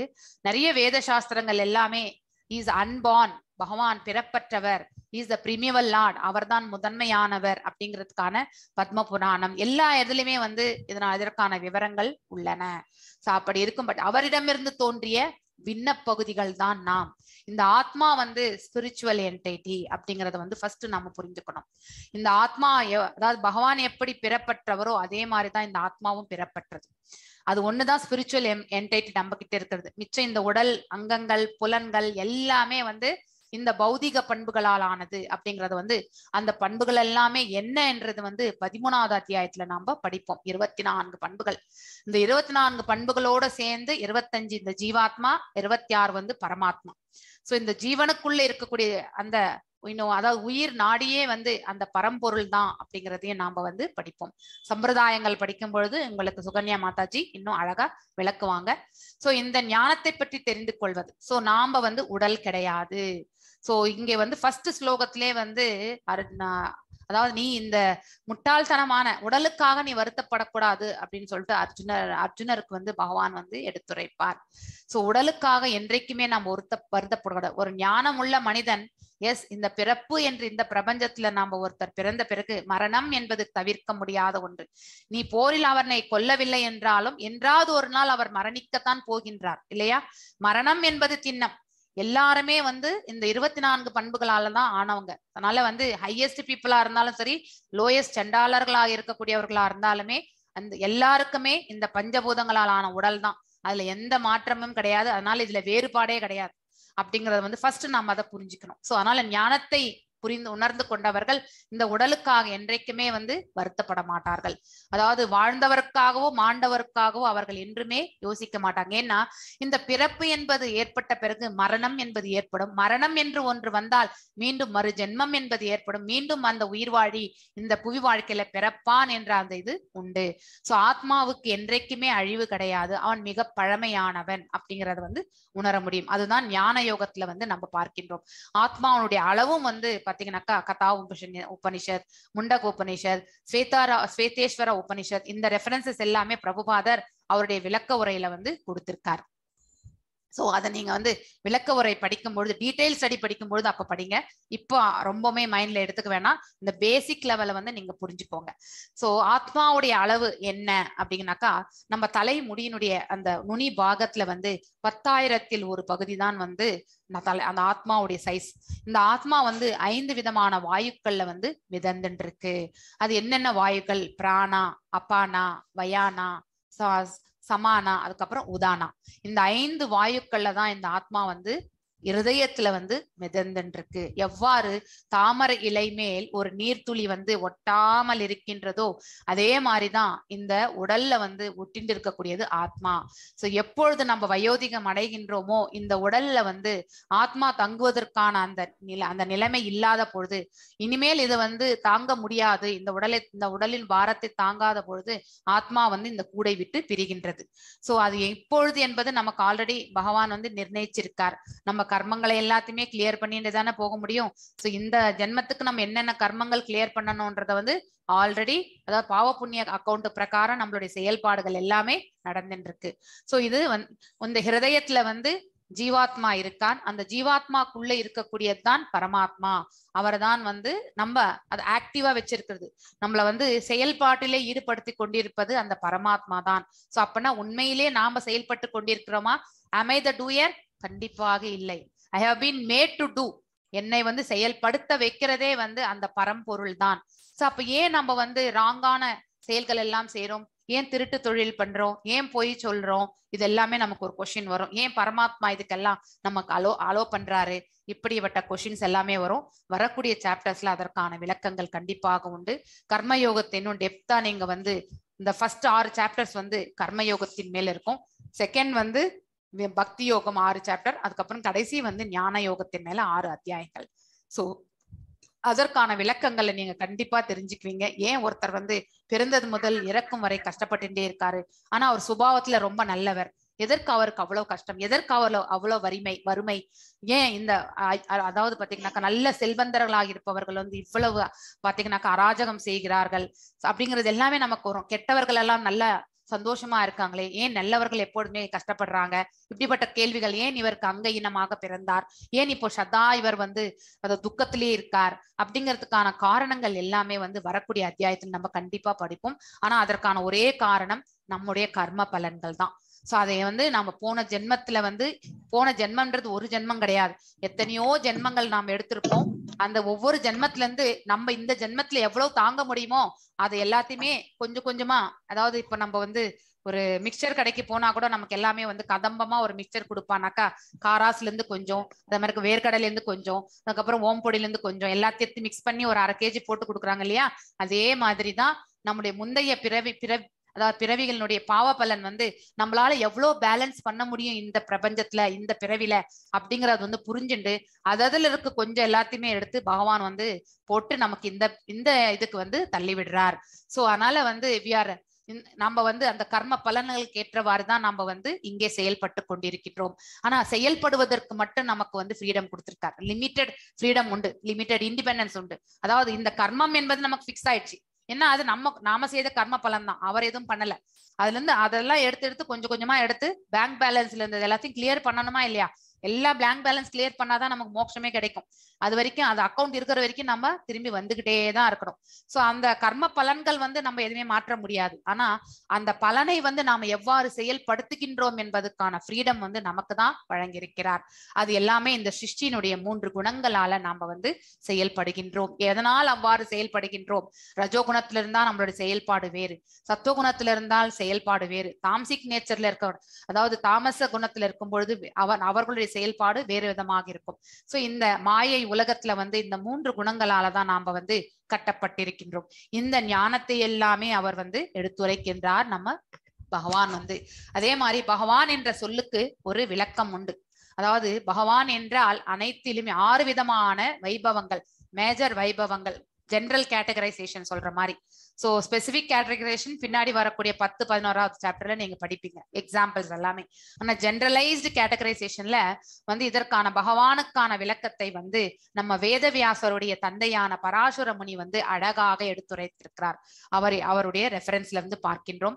பகவான் என்றால் ஒரு ம- அதாவது ஒரு அதாவது ஒரு அவர் ஹீஸ் த ஹையஸ்ட் அத்தாரிட்டி அப்படிங்கறத வந்து நாம படிச்சுட்டே வரோம் சோ அவருடைய ஆறு விதமான வைபவங்கள் மேஜர் வைபவங்கள் என்னன்னா அறிவு ஜென்ரலா அறிவு புகழ் அதுக்கப்புறம் வந்து செல்வம் அழகு அதுக்கப்புறம் துறவு அதுக்கப்புறம் வந்து ஒன் மோர் திங் புகழ் செல்வம் வலிமை. இந்த ஆறுமே வந்து இந்த இம்பார்ட்டன்ட் ஜென்ரல் கேட்டகரி வலிமையும் சரி எல்லாமே வந்து இம்பார்ட்டன்ட் கேட்டகரிஸ் இது. இதுல எல்லாத்துலயுமே ஹையஸ்டா விளங்கக்கூடியவர் தான் நம்ம பரம்பொருள். அதனாலதான் வந்து பகவான் என்று அந்த நாமமே அவருக்கு வந்தது. பகவான் என்ற அந்த வார்த்தைக்கே இதுதான் விளக்கம். ஹையஸ்ட் இந்த ரெனவுன்சேஷன் ரெனவுன்சேஷன் என்றால் துரத்தல். அதாவது நிர்குணவா நிர்குணத்தன்மையில் இருக்கிறது. இந்த பிரபஞ்ச செயல்களில் எல்லாம் பகவான் வந்து எல்லாவற்றையுமே செயல்படுத்தி கொண்டே இருக்கின்றார். ஆனால் இந்த பௌதீக செயல்களில் இருந்து அவர் எப்பொழுதுமே தூரமாக விலகி இருக்கின்றார். இந்த ஜட சக்திகள் எல்லாமே அவரிடமிருந்து பிரிந்து வந்ததுதான். ஆனா இதற்கும் அவருக்கும் சம்பந்தம் இல்லை. ஈஸ் அன் அலூஃப் அப்படின்னு சொல்லிட்டு பின்னாடி படிப்பீங்க. அவர் சுதந்திரமானவர். அப்படிங்கிறத வந்து நாம பின்னாடி வரக்கூடிய அத்தியாயங்கள்ல படிப்போம்.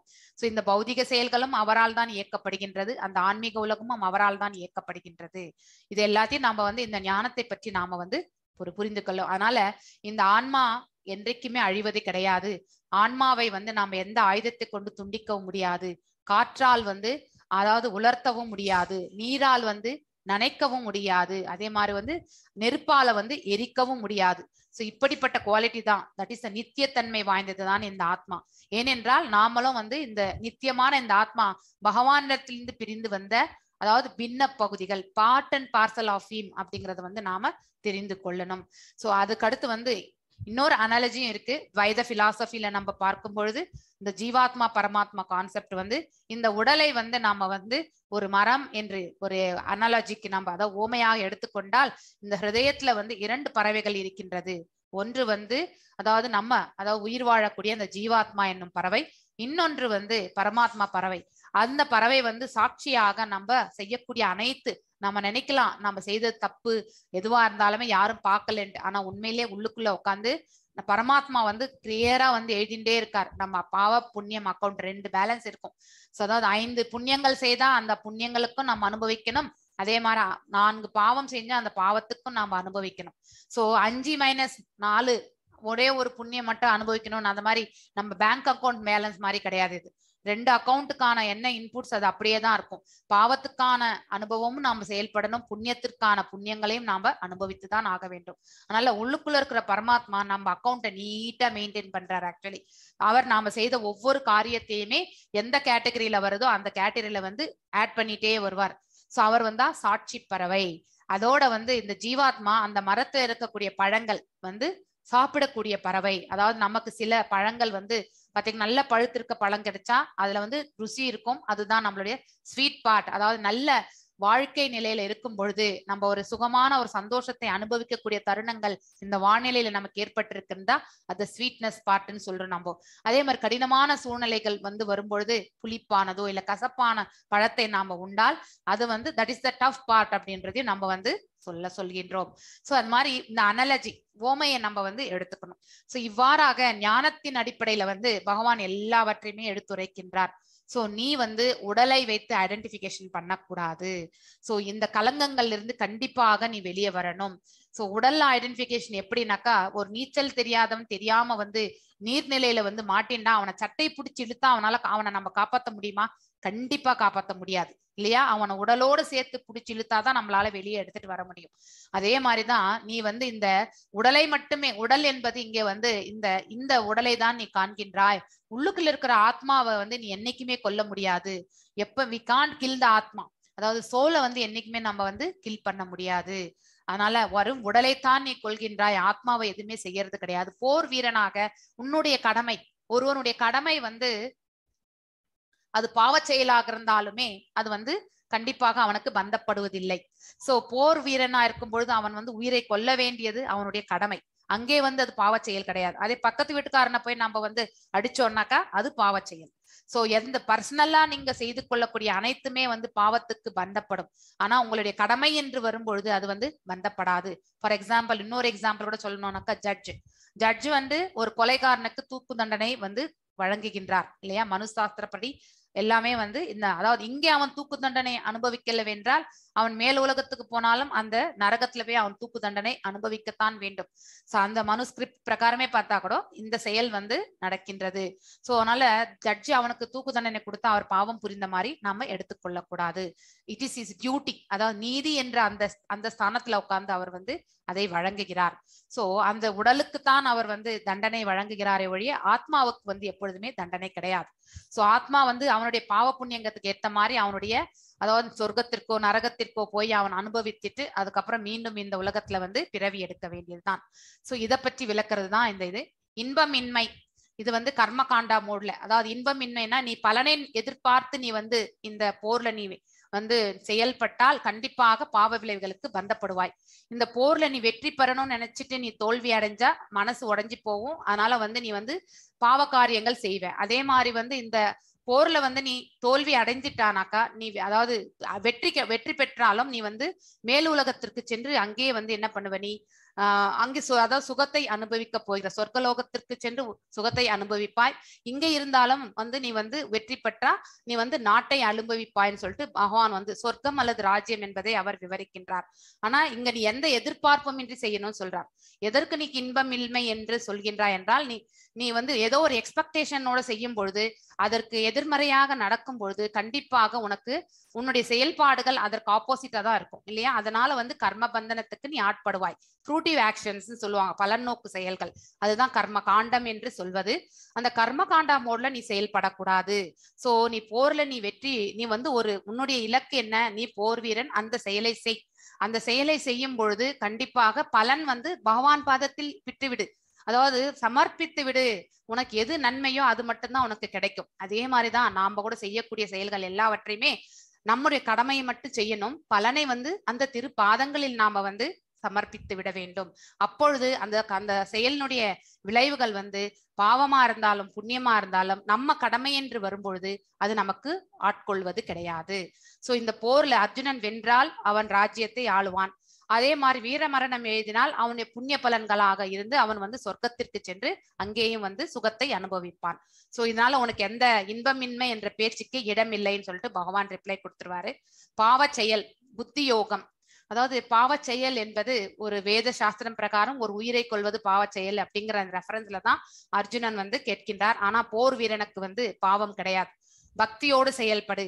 நீ எந்த ஒரு எதிர்பார்ப்பும் இன்றி இது உன்னுடைய கடமை என்று ஏற்று எனக்காக செயல்படு அப்படிங்கறத சொல்றாரு. அப்பொழுது உனக்கு இந்த பாவம் எல்லாம் வந்து சேராது. புத்தி யோகம் என்பது பக்தி யோகம் ஆக்சுவலி ஞானம் கலந்த அதாவது நம்ம ஞானம் கலந்த பக்தியை தான் புத்தி யோகம் என்று எடுத்துரைப்போம்.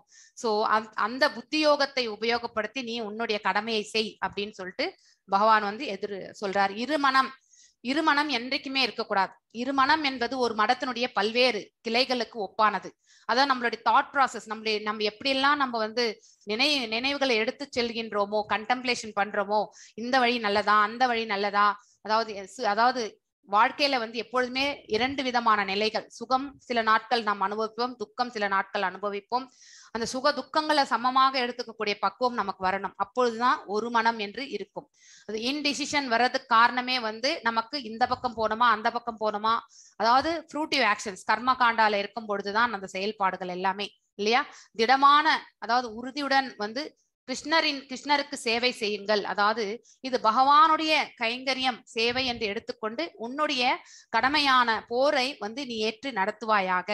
சோ அப்பொழுது வந்து உனக்கு இந்த இன்டிசிஷன் என்ற அந்த இது வார்த்தையே வராது. இது கடமை என்று வரும் பட்சத்துல நீ வந்து உன்னுடைய கடமை மட்டும்தான் செய்யணும்.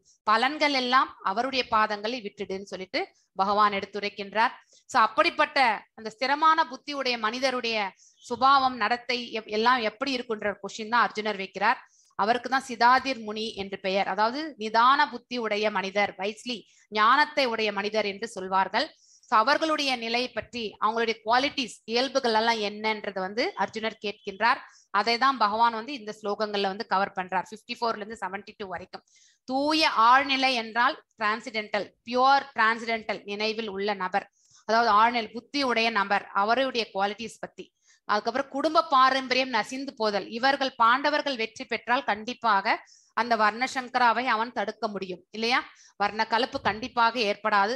என்னென்றால் வருங்கால சந்ததியர்களை நல்மார்க்கத்தில் எடுத்து செல்வதற்கு தர்மமானவர்களுக்கு கண்டிப்பாக அது தெரியும். சோ வர்ணசங்கரத்தை தடு தடுக்க நீயே ஒரு முன் மாதிரியாக இருக்க வேண்டும் என்று எடுத்துரைக்கின்றார். சோ எஸ் யாராவது ஸ்லோகம் வாசிக்கிறீங்களா? கார்பண்ய தோஷபக ஸ்வபாவக பிரச்சாமி துவாம் தர்ம சம்மூட சேதக. எஸ் ஸ்ரேயஷ்யா நிச்சிதம் பிருகு தன்மை பிருகி தன்மை. சிஷ்யஸ்தேகம் சாதிமாம் துவாம் பிரபன்னம். அதாவது சோ ஆறாவது ஸ்லோகம் வரைக்குமே அவருடைய இன்டிசிஷனை பத்தி தான் அவர் சொல்லுவார். என்னால இது முடியாது அது முடியாதுன்னு சொல்லிட்டே இருப்பார். ஆனா பகவானும் வந்து அதற்கு ரைட்டான ஒரு ரிப்ளை கொடுத்து இதுக்கான விளக்கங்கள் கொடுக்கும் பொழுது கடைசியில வந்து அந்த ஏழாவது ஸ்லோகத்துல வந்து அவருடைய பாதங்களில் வந்து சமர்ப்பணம் ஆகி விடுகின்றார் அர்ஜுனர். அது வரைக்குமே ஆறாவது ஸ்லோகம் வரைக்குமே ஃப்ரெண்ட்ஷிப் என்ற ரிலேஷன்ஷிப்ல தான் போயின்றது. யாருக்கும் அதாவது பகவானுக்கும் அதே மாதிரி அது அர்ஜுனருக்கும். ஆனா இந்த ஏழாவது ஸ்லோகம் வரும் பொழுது அவருடைய திரு பாதங்களில் வந்து ஒரு சீடனாக வந்து அவர் தன்னை வந்து சமர்ப்பித்துக் கொள்கின்றார். இதுக்கு மேல வரக்கூடிய டாக்ஸ் எல்லாமே அவர்கள் இருவருக்கும் மத்தியில நடக்கக்கூடிய உரையாடல் எல்லாமே சீரியஸ் ஆனது. ஒரு குரு சிஷ்யனுக்கு மத்தியில நடக்கக்கூடிய உரையாடல் வந்து ரொம்ப சீரியஸா இருக்கும். இப்பொழுது நான் என் கடமையை மறந்து பற்றி கடமையை பற்றி குழப்பம் அடைந்துள்ளேன் அப்படின்னு சொல்லிட்டாரு அவர் வந்து. என்ன அவர் போர் வீரன் போர் புரியணும் ஆனா எதிர்த்தளப்புல இருக்கிறவங்களை வந்து கொல்றதுக்கு அவருக்கு விருப்பம் கிடையாது. சோ கருமித்தனமான பலம் அதாவது லிமிட்டட் அதாவது குறுகிய மனப்பான்மை. கருமித்தனம் என்றால் அதாவது கார்பண்யா என்றால் கருமித்தனம். சோ அதாவது அந்த அந்த கருமித்தனம் என்றால் நமக்கு குறுகிய மனப்பான்மை உடைய அதாவது ரொம்பவுமே நம்ம லிமிட்டடா யோசிக்கிறோம் இல்லையா? ஒரே ஒரு நோக்கத்தோட மட்டும்தான். அதாவது நம்ம எல்லா சைட்லயுமே நம்ம வந்து யோசிக்கிறது கிடையாது. சோ அந்த கருமித்தனமான பலவீனத்தால் என் இயல்புகளை எல்லாம் இழந்து விட்டேன்ட்டார். அதான் அவருக்குடைய சென்சஸ் எல்லாத்தையுமே அவர் வந்து அந்த செயல்பாடுகள் எல்லாம் இழந்து விட்டேன். என்ன செய்யறதுன்றதே அவருக்கு தெரியல. இந்நிலையில் எனக்கு நல்லது எது என்று நிச்சயமாக கூறும்படி உம்மிடம் கேட்டுக்கொள்கின்றேன். அதாவது நல்லது எது எனக்கு சொல்லணும் நீங்க அப்படின்றது வந்து பகவான் கிட்ட கேட்டுக்கொள்கின்றார். உம்மிடம் சரணடைந்த சீடன் நான் இங்க டிசைபிள் ஆயிட்டார். யாருக்கு? பகவானை வந்து குரு என்ற ஸ்தானத்தில் வைத்து இவர் வந்து அவருடைய பாதங்களில் வந்து சமர்ப்பணம் ஆகிவிடுகின்றார் அருள் கூர்ந்து எனக்கு அறிவுரை கூறுவீராக அப்படிங்கிற ஒரு இது வைக்கிறாரு. எஸ் இந்த விஷன் எப்படின்னாக்கா நம்ம ஒரு நம்ம கடலோரத்துல கூட நம்ம போய் பார்த்திருக்கோம் இல்லையா? நீர்நிலை பார்க்கும் பொழுது ஆகாயம் வந்து அந்த கடலோட நம்ம வந்து ஒட்டி இருக்கிற மாதிரி நமக்கு தெரியும். கலந்துட்ட மாதிரி. ஆனா உண்மையிலே நம்ம அக்கறையில போய் பார்க்கும் பொழுது எப்பொழுதுமே அந்த ஆகாயம் வந்து நீ அதாவது நீர்நிலையோட வந்து சங்கமிக்கிறது கிடையாது. ஸோ எல்லாமே நம்மளுடைய பார்வையினாலதான் அது இல்லையா? சோ ஒரு தூரமா இருக்கக்கூடிய ஒரு பார்வையை நம்ம பார்க்கும்பொழுது நம்ம கண்ணு கெட்டுற வரைக்கும் ஒரு நீர்நிலை தெரிகிறது. ஆனா அந்த நீர்நிலைக்கு அப்பாற்பட்டு ஒரு மரம் இருப்பதும் அந்த மரத்திற்கு மே மரத்துல ஒரு பறவை இருப்பதும் வந்து வந்து நம்ம வந்து தெரிஞ்சு கொள்ளணும். எப்படி என்றால் நாம வந்து இந்த பக்தியின் முதல் படி ரெண்டு படி மூணு படி இருக்கு ஆக்சுவலி பக்தியில வந்து. ஒண்ணு வந்து அதாவது தோன்றாத அருவம் அதாவது சக்தியின் ரூபம் ஆற்றலின் வடிவத்துல மட்டும்தான் இந்த பரம்பொருள் இருக்கார் அப்படின்னு நினைக்கிறது வந்து இந்த வறண்ட அதான் சாரி வறண்ட அதாவது நெடுதூரமாக வந்து பாத்தீங்கன்னாக்கா அந்த நீர்நிலை வந்து நம்ம கண்ணுக்கே எட்டாத வரைக்குமே பாத்தீங்கன்னா நீர்நிலை மட்டும் தான் தெரியுது. அந்த பக்கம் இருக்கக்கூடிய மரமோ பறவையோ நம்ம கண்ணுக்கு தெரியல இல்லையா? அந்த பார்வை விஷன் அப்படின்னா ஞானத்தினுடைய பார்வையில பார்க்கணும். உண்மையிலே இந்த பிசிக்கல் விஷன் கிடையாது. நம்ம கண்ணால பாக்குறது கிடையாது. அதுக்கு ஒரு ஓமையாக கொடுக்கப்பட்டிருக்கின்றது. அதுதான் வந்து பர பிரம்மம் என்று சொல்கின்றோம். அப்சல்யூட் ட்ரூத் அப்படிங்கிறது வந்து நம்ம வந்து ஃபர்ஸ்ட் நிலை உணர்தல். அதை வந்து நம்ம சூரியனுடைய பிரகாசத்திற்கு ஒரு சூரியனுடைய பிரகாசம் இந்த பிரபஞ்சம் முழுவதுமே பரவி இருக்கின்றது. அதையும் ஒரு அனாலஜி தான். இதுவும் ஒரு அனாலஜி அதே அதுவும் வந்து ஒரு அனாலஜி சோ இந்த செகண்ட் தேர்ட் ஸ்லோகத்துல இது வந்து ரெஃபரன்ஸ் வருது. மூன்று நிலைகள். அந்த அதாவது கடவுளை நாம வந்து மூன்று நிலைகள்ல வந்து உணர்தலை பற்றி. சோ அதை தோன்றாத அருவம் மட்டுமே அவங்களதான் நம்ம மாயாவாதி இம்பர்சனல் அப்படின்றது எல்லாமே சொல்லுவோம். சோ இந்த தோன்றாத அருவம் என்றால் நம்ம கண்ணுக்கே புலப்படாத நீக்கமர நிறைந்திருக்கக்கூடிய அந்த வடிவத்திலும் பகவான் இருக்கார் உருவத்திலும் இருக்கார். ஆனா வெறுமனே அந்த நீக்கமர நிறைந்திருக்கக்கூடிய அந்த உருவத்துல பார்க்கக்கூடியதுதான் ஃபர்ஸ்ட் லெவல் ரியலைசேஷன் அதாவது கடவுளை உணரக்கூடிய முதன்மை படி ரெண்டாவது வந்து சூரிய வட்டத்தை நம்மளால பார்க்க முடியும் இல்லையா? இன்னும் கொஞ்சம் நம்ம அட்வான்ஸ்டா நம்ம வந்து பகவான் மீது பக்தி செலுத்தும் பொழுது அவரையுடைய அவரை பற்றிய அந்த ஞானத்தை நாம தெரிந்து கொள்ளும் போது அந்த நான்கு கைகளுடைய ரூபத்தை நம்மளால வந்து உணர முடியும். அது வந்து பரமாத்மா ஸ்வரூபம் இந்த ரெண்டுமே வந்து பார்ஷியல் ரியலைசேஷன் தான். அதாவது ஒரு பகுதி ரியலைசேஷன் தான். ஆனா அந்த பவர் அதாவது அந்த சக்தி என்பது பகவானுடைய சச்சிதானந்த ரூபத்திலே அடக்கம் என்று தெரிந்து கொள்வதுதான் வந்து முழுமையான பகவான் சொரூபம். அதுதான் வந்து இந்த தேர்ட் லெவல் எவ்வாறு அந்த சூரிய கிரகத்துக்குள்ளேயே சென்று அந்த அதை பற்றி அந்த கிரகத்தை பற்றி தெரிந்து கொள்கின்றோமோ அது போன்றது. சோ பக்தியினுடைய மூன்று லெவல்களை வந்து நாம இவ்வாறு பிரிக்கப்பட்டிருக்கின்றது. நீங்க செகண்ட் ஸ்லோகம் வாசிக்கும் பொழுது அந்த இது எக்ஸ்பிளனேஷன் கொடுத்திருப்பாங்க. அப்பதான் அந்த பகவானுடைய டெஃபனேஷனும் அங்கே சொல்லப்பட்டிருக்கின்றது. சோ இந்த செகண்ட் லெவல் வந்து அந்த பக்கம் இருக்கக்கூடிய மரத்தை பார்க்கக்கூடிய லெவல் அந்த மரத்துல ஒரு பறவை இருக்கக்கூடிய பார்க்க லெவல் தான் வந்து பகவான் ரியலைசேஷன் சோ இது ஒரு ஓமை தான் ஸோ ஜஸ்ட் ஒரு எக்ஸாம்பிளாக தான் நம்ம வந்து சொல்ல சொல்கின்றோம். ஸோ நெக்ஸ்ட் வந்து எஸ் ஜெயலட்சுமி சிவசங்கர் மாதாஜி வாசிங்க தேர்டீன்த் ஸ்லோகம் தேர்ட்டீன்த் வாசிக்கிறேன் மாதாஜி देहिनोऽस्मिन् यदा देहे कौमारं यौवनं जरा तदा देहान्तरप्राप्तिर्तीरस्तत्र न मुह्यति எஸ் இந்த தேகத்துல தேகத்தை உடையவன் அதாவது இந்த எம்பாடிட் சோல்னு சொல்லுவாங்க. அதாவது தேகத்தை உடையவனுடைய உடல் வந்து மாற்றங்கள் ஆகின்றது. ஆத்மாவில எந்த மாற்றம் ஏற்படுறது கிடையாது. உடல் சிறுவயது இளமை முதுமை கடந்து செல்வதை போல கூட ஆத்மாவும் வந்து ஓர் உடலை மரணத்தின் போது வேறு ஒரு உடலுக்கு வந்து மாற்றம் அடைக்கின்றது. அதுதான் டிரான்ஸ் மைக்ரேஷன் ஆஃப் சோல்னு சொல்லுவாங்க இங்கிலீஷ்ல. ஓர் உடலிலிருந்து இன்னொரு உடலுக்கு நாம வந்து செல்கின்றோம். எங்கே எப்பொழுது அப்படிங்கறது வந்து பகவான் வந்து நிர்ணயிப்பார். நம்ம கர்மங்கள் தான் இன்புட் அந்த அதாவது நாம தான் அதுக்கான அதாவது அதாவது இன்புட் கொடுக்கறதே நாம தான். இப்போ வந்து ஒரு சாதம் சமைக்கிறோம்னாக்கா அதுக்கு அரிசி அதுக்கப்புறம் ஒரு அதாவது அக்னி ஜுவாலை அதுக்கப்புறம் வந்து ஒரு நீர் பாத்திரம் எல்லாம் நம்ம வந்து இதெல்லாம் கொடுக்கறது நாம தான் கர்மத்தின் வடிவில. ஆனா எப்பொழுது அதை சமைக்கணும் அப்படிங்கறது வந்து பகவான் தான் நினைப்பார். ஸோ எந்த அளவுக்கு நம்ம வந்து அதுல தண்ணி ஊத்தணும் எத்தனை படி அரிசி போடணும் அதாவது உங்க நம்முடைய பாவங்கள் எத்தனை எத்தனை சேர்க்கணும் அப்படிங்கிறது எல்லாமே எங்கே நம்முடைய பிறவி அப்படிங்கிறது எல்லாத்தையுமே தீர்மானிக்கிறது நம்மளுடைய கர்மங்கள் தான் கர்ம பலன்கள் தான். சோ ஆனா பிறப்பு வந்து நம்ம தட் இஸ் த இன்புட் ஆனா இதை வைத்து நம்மள வந்து ஒரு ஒரு பர்டிகுலர் தாய் தந்தைக்கு நம்ம வந்து பிறக்கக்கூடிய அந்த மார்க்கத்தை வந்து ஏற்படுத்தி கொடுக்கறது. பகவான் எப்படி அதை மேப் பண்றார் அப்படிங்கறதை வந்து நாம் தெரிஞ்சுக்கணும். நம்மள மாதிரி சிமிலர் கர்மங்கள் செய்திருக்கக்கூடிய ஒரு குடும்பத்துல தான் நாம பிறப்போம். அதனால்தான் நம்ம வந்து தாத்தா மாதிரி பேரன் அப்படின்னு நம்ம ஒரு எக்ஸாம்பிள்ஸ் எல்லாம் சொல்லுவோம் இல்லையா? எப்படி என்றால் சிமிலர் கர்மங்கள் செய்திருப்பவர்கள் தான் ஒரு குடும்பத்துல வந்து ஐக்கியமாவாங்க. சோ அதாவது சேருவார்கள். சோ அதனால்தான் அந்த அந்த அந்த ஜென்மத்துல வந்து நாம வந்து அந்த குடும்பத்தில் பிறவி அடிக்கின்றோம்.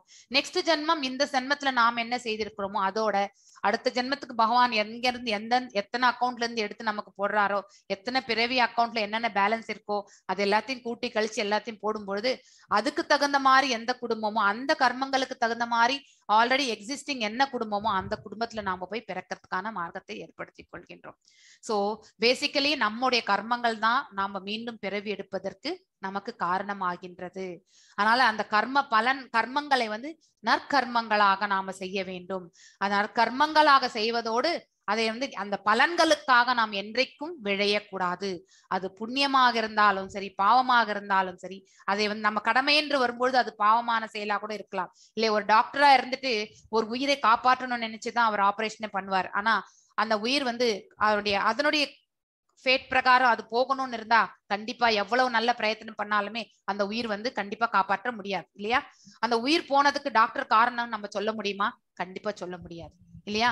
இது அந்த ஃபேட்ல எழுதியிருக்கு அந்த உயிர் போகணும்ட்டு அதே மாதிரிதான் நாம எப்பொழுது மரணிக்க வேண்டும் எப்பொழுது ஜனிக்க வேண்டும் இது எல்லாமே ஆல்ரெடி டிசைடட் ஆனா இந்த கர்ம பலனை நாம எவ்வாறு அனுபவிக்கணும்? நாம இந்த கர்ம பலனை வந்து எவ்வாறு நம்ம எக்ஸிகியூஷன் அதாவது இப்ப நான் இந்த செயலை செய்யணும்னாக்கா இதை நல்முறையில எடுத்துட்டு போகிறது தான் நற்காரியம்.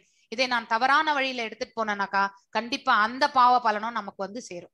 அதனால வந்து ஓர் உடலிலிருந்து இன்னொரு உடலுக்கு மாற்றம் அடைவது பேசிஸ் எவ்வாறு நிர்ணயிக்கப்படுகின்றது இது. எப்பொழுது என்பது நம்ம கர்ம பலன் கேற்றவாறு பகவானுடைய கருணையால் நாம எங்க பிறக்கின்றோம் என்பதும் நிர்ணய ஒரு பணக்காரனாக இந்த ஜென்மத்துல வந்து வாழ்ந்தவன் அடுத்த ஜென்மத்துல பணக்காரனா வாழ்வான்றது கேரண்டி கிடையாது.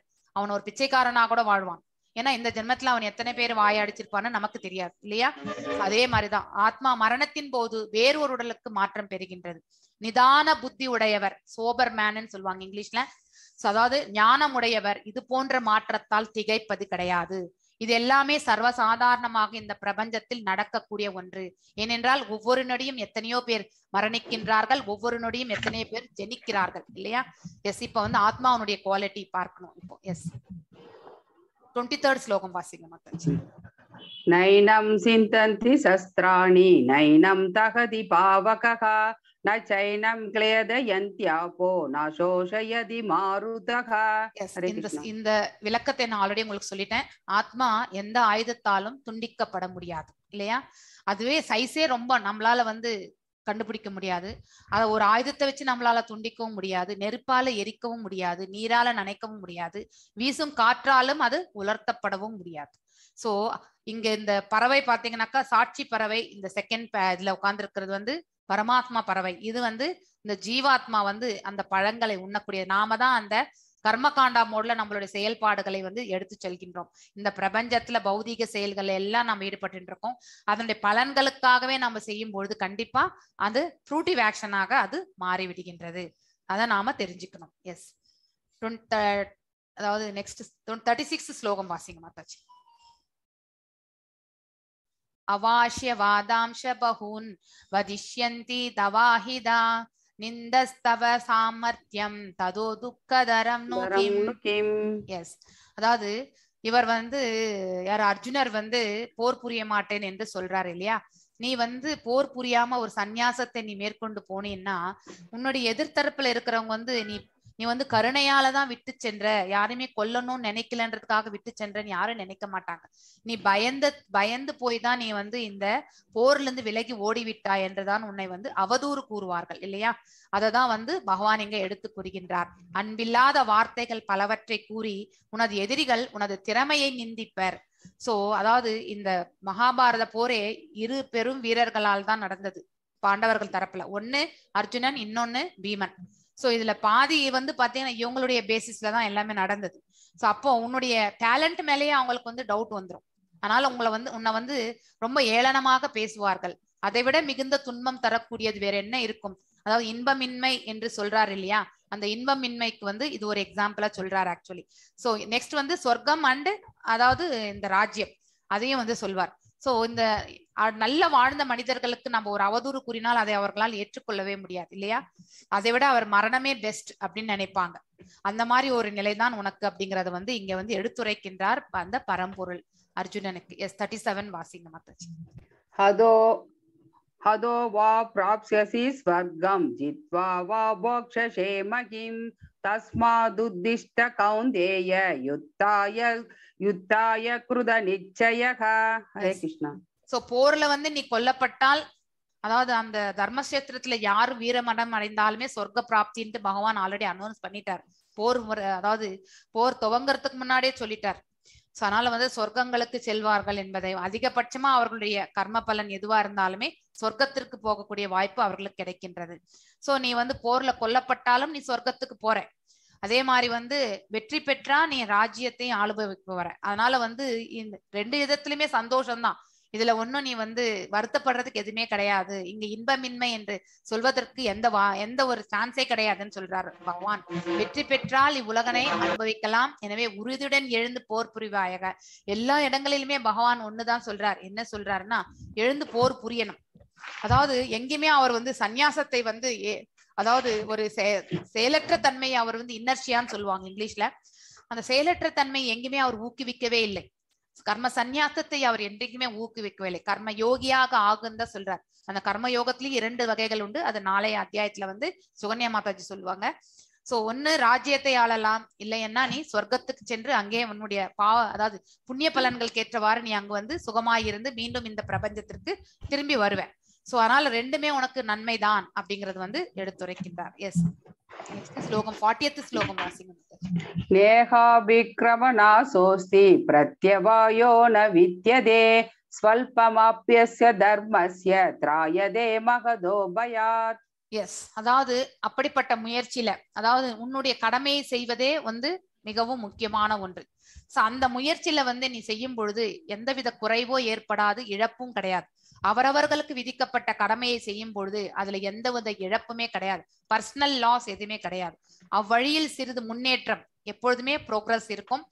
ஃபியூச்சர்ல நமக்கு ஒரு பெரிய ஆபத்திலிருந்து நம்ம வந்து நம்மள தற்காத்து கொள்ளவும் முடியும். அதாவது தன்னுடைய கடமையை செய்யாத ஒருவன் அதனால விளையக்கூடிய பாவங்களுக்கு அவன்தான் பந்தப்படுவான். இப்ப அர்ஜுனன் வந்து போர் புரிய மாட்டேன்னு சொல்லிட்டு அவன் கர்ம சந்நியாசத்தை வாங்கிட்டு சென்றால் அந்த போர்ல வந்து தர்மத்தை நிலைநிறுத்த முடியவில்லை என்றால் மீண்டும் அதர்மம் தலை தோங்கியிருந்தால் அதற்கு அந்த பாவ விலைகள் மொத்தமே அர்ஜுனனுக்கு தான் போய் சேர்ந்திருக்கும். ஏனென்றால் அவன் போர் வீரன் என்ற அந்த பதவியை வந்து அவன் வந்து அந்த செயலை அவன் செய்யவில்லை. சோ யாருக்குமே அவரவர்களுடைய கடமை விதிக்கப்பட்ட கடமைகள் கண்டிப்பாக செய்யணும். ஒரு தாயாக நம்முடைய கடமை என்ன அதை நாம கண்டிப்பா செய்யணும். ஒரு தந்தையாக நமக்கு என்ன கடமை அது கண்டிப்பா நம்ம செய்யணும். ஒரு பிள்ளையாக நம்ம என்ன கடமை செய்யணுமோ அது செய்யணும். ஒரு ஆசிரியராகவோ நம்ம செய்யக்கூடிய அலுவலகத்துல வந்து என்ன செயல்ல இருக்கோமோ அங்க நமக்குன்னு விதிக்கப்பட்ட கடமை என்ன இருக்கோ அது கண்டிப்பா செய்யணும். அது தர்மமான முறையில செய்யணும். அதர்மமான செயல்கள் நாம வந்து செய்யக்கூடாது. சோ அப்படிப்பட்டது எல்லாமே வந்து நமக்கு அது அதர்ம அதாவது நமக்கு தர்மமாக அது இருந்தாலுமே அது நமக்கு பாவ செயலாக வந்தாலும் அதுல வந்து நமக்கு பந்தப்படுவது கிடையாது. ஏனென்றால் சில ப்ரொஃபஷன்ஸே நமக்கு அப்படிதான் இருக்கு இல்லையா? ஜட்ஜ் எடுத்துக்கலாம் டாக்டர் எடுத்துக்கலாம். இந்த மாதிரியான நிலைகள் இருக்கும் பொழுது அதை நம்ம தவிர்க்கவே முடியாது. அதே மாதிரி ஆர்மியில இருக்கிறவங்க வந்து எதிர்த்து இருக்கக்கூடிய அதாவது அதர் கண்ட்ரி எனிமி கண்ட்ரில இருந்து நம்மள நோக்கி அவர்கள் வந்து சுட்டாங்கன்னா இவங்க சும்மா இருப்பாங்களா? இவங்களும் பதிலுக்கு சுடணும் இல்லையா? இவங்க சும்மா இருந்தா இந்த பக்கம் மரணம் தான் ஏற்படும். அவங்களும் எதிர்த்து தாக்குதல் செய்துதான் ஆக வேண்டும். அங்கே பலி என்பது கண்டிப்பாக நடக்கும். அப்படின்னா இழப்பு என்பது உண்டு. உயிரினுடைய இழப்பு உண்டு. அதை வந்து நம்ம வந்து பாவ செயலாக கருத்தில் கொள்ள முடியாது. இங்க எப்படி இந்த பிக்சர்ல பாத்தீங்கன்னா ஹனுமன் வந்து லங்கையை எரிக்கிறது இருக்கு இல்லையா?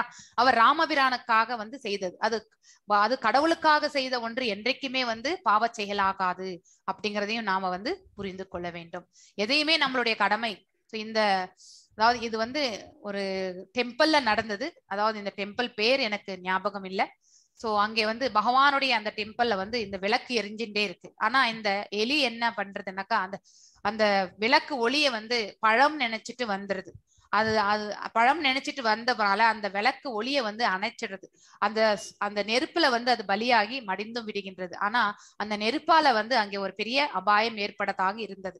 அதுல இருந்து அந்த பெரிய ஆபத்தை வந்து நம்ம வந்து ரட்சிக்கப்பட்டது இந்த எலியாலன்றதுனால அந்த எலிக்கு வந்து மோட்சம் கிடைத்ததாக ஒரு அதாவது அதற்கான ஊர் நம்ம இந்தியால இருக்கு.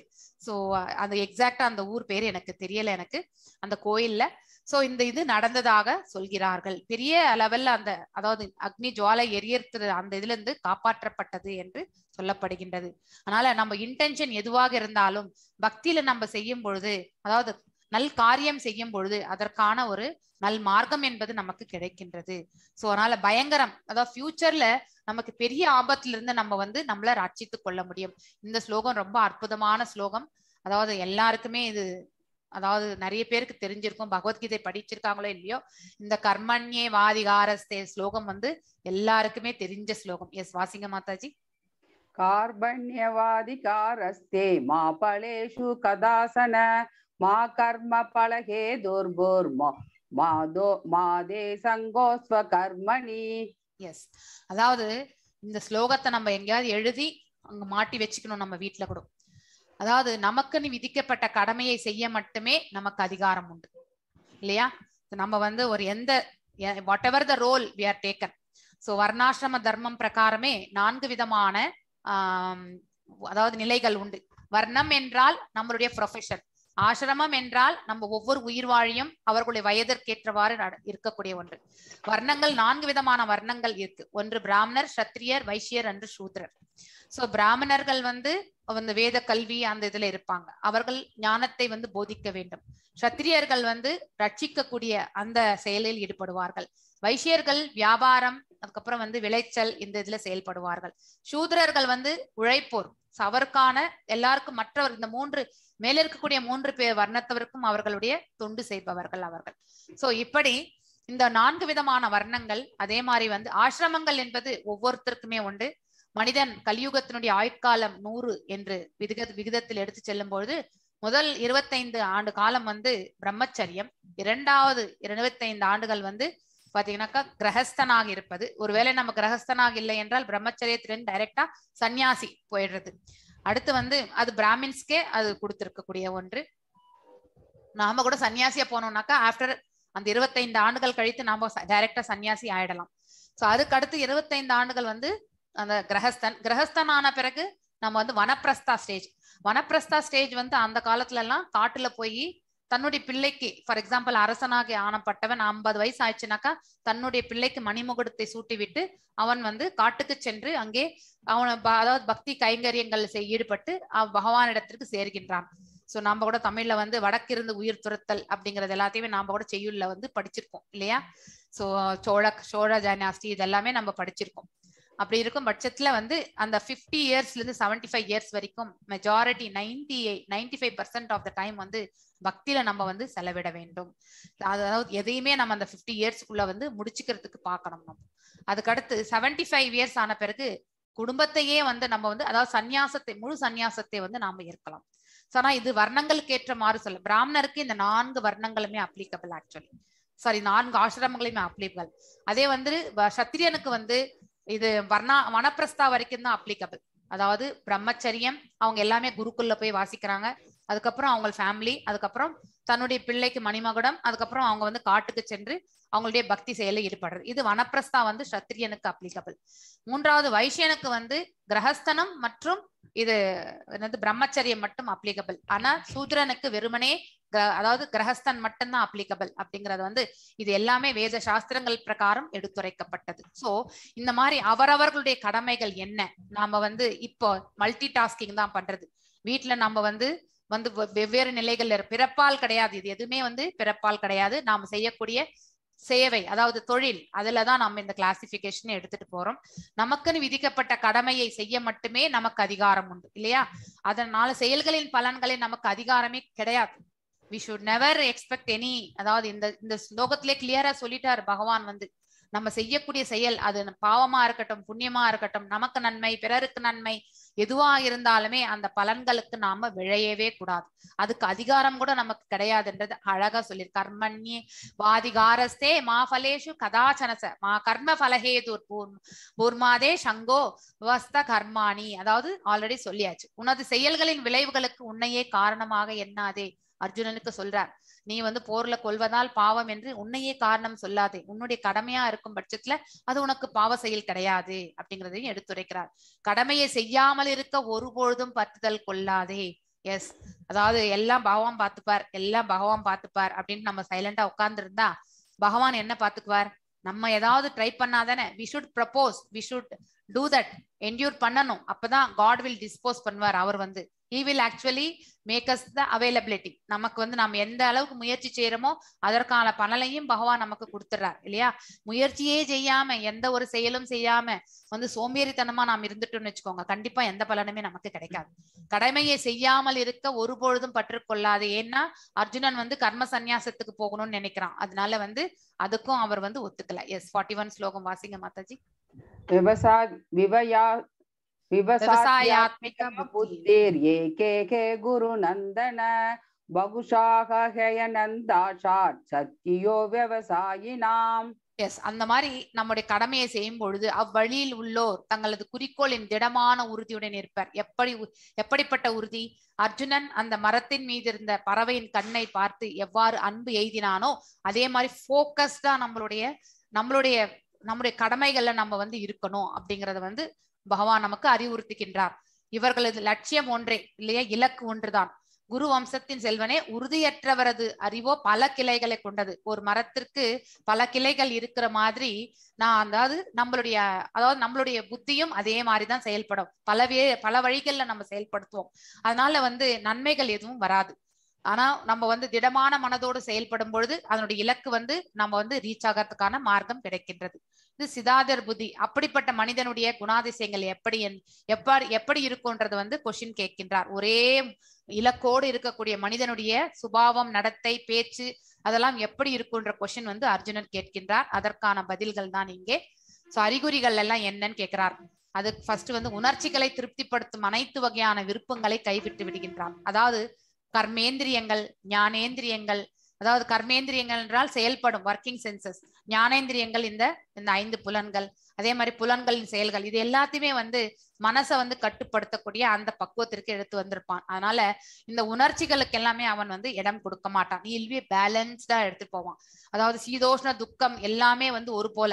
இன்னைக்கு வெயில் அடிக்கும் நாளைக்கு மழை அடிக்கும் அதுக்கப்புறம் குளிர் எடுக்கும் எல்லாத்தையும் ஒரு போல பாவிக்கக்கூடிய தன்மை. இன்னைக்கு ரொம்ப சந்தோஷமா இருப்போம் நாளைக்கு பெரிய துக்கம் வரும் ரெண்டும் சமமாக பார்க்க வேண்டியது.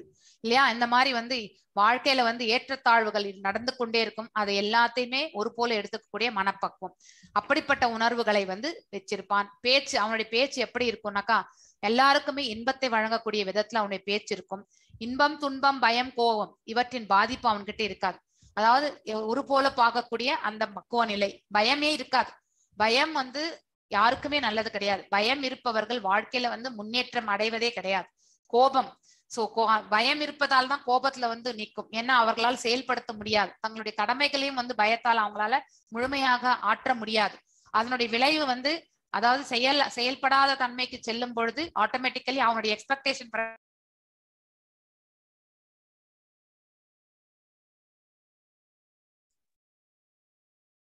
ஹலோ. ஹரே கிருஷ்ணா மாதாஜி. என்னாச்சு? சடனா கட் ஆயிடுச்சுப்பா. தெரியல Mataji. Okay. I will complete.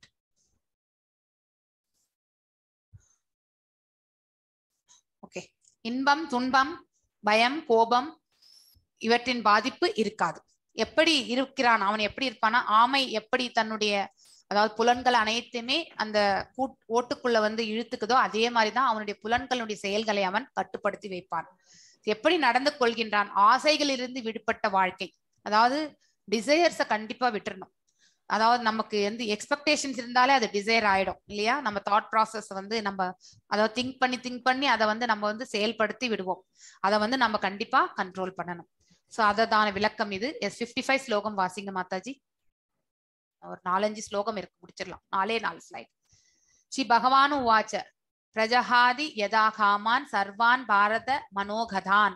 ஆத்மன் ஏவ் ஆத்மனா துஷ்டக சித பிரஜ்ஞ ததோ ததோஷயேத் அதாவது சித பிரக்ஞா என்று சொல்லப்படுவது. எஸ் அதாவது எப்பொழுது ஒருவன் தமது மன கற்பனையினால் எழும் புலன் நுகர்ச்சிக்கான எல்லா ஆசைகளையுமே துறந்து எஸ் மன கற்பனை என்பதுதான் தாட் ப்ராசஸ் இல்லையா? அதனால ஏற்படக்கூடிய புலன் நுகர்ச்சிக்கான அந்த சென்சஸ் எல்லாமே செயல்பட ஆரம்பிக்கின்றது.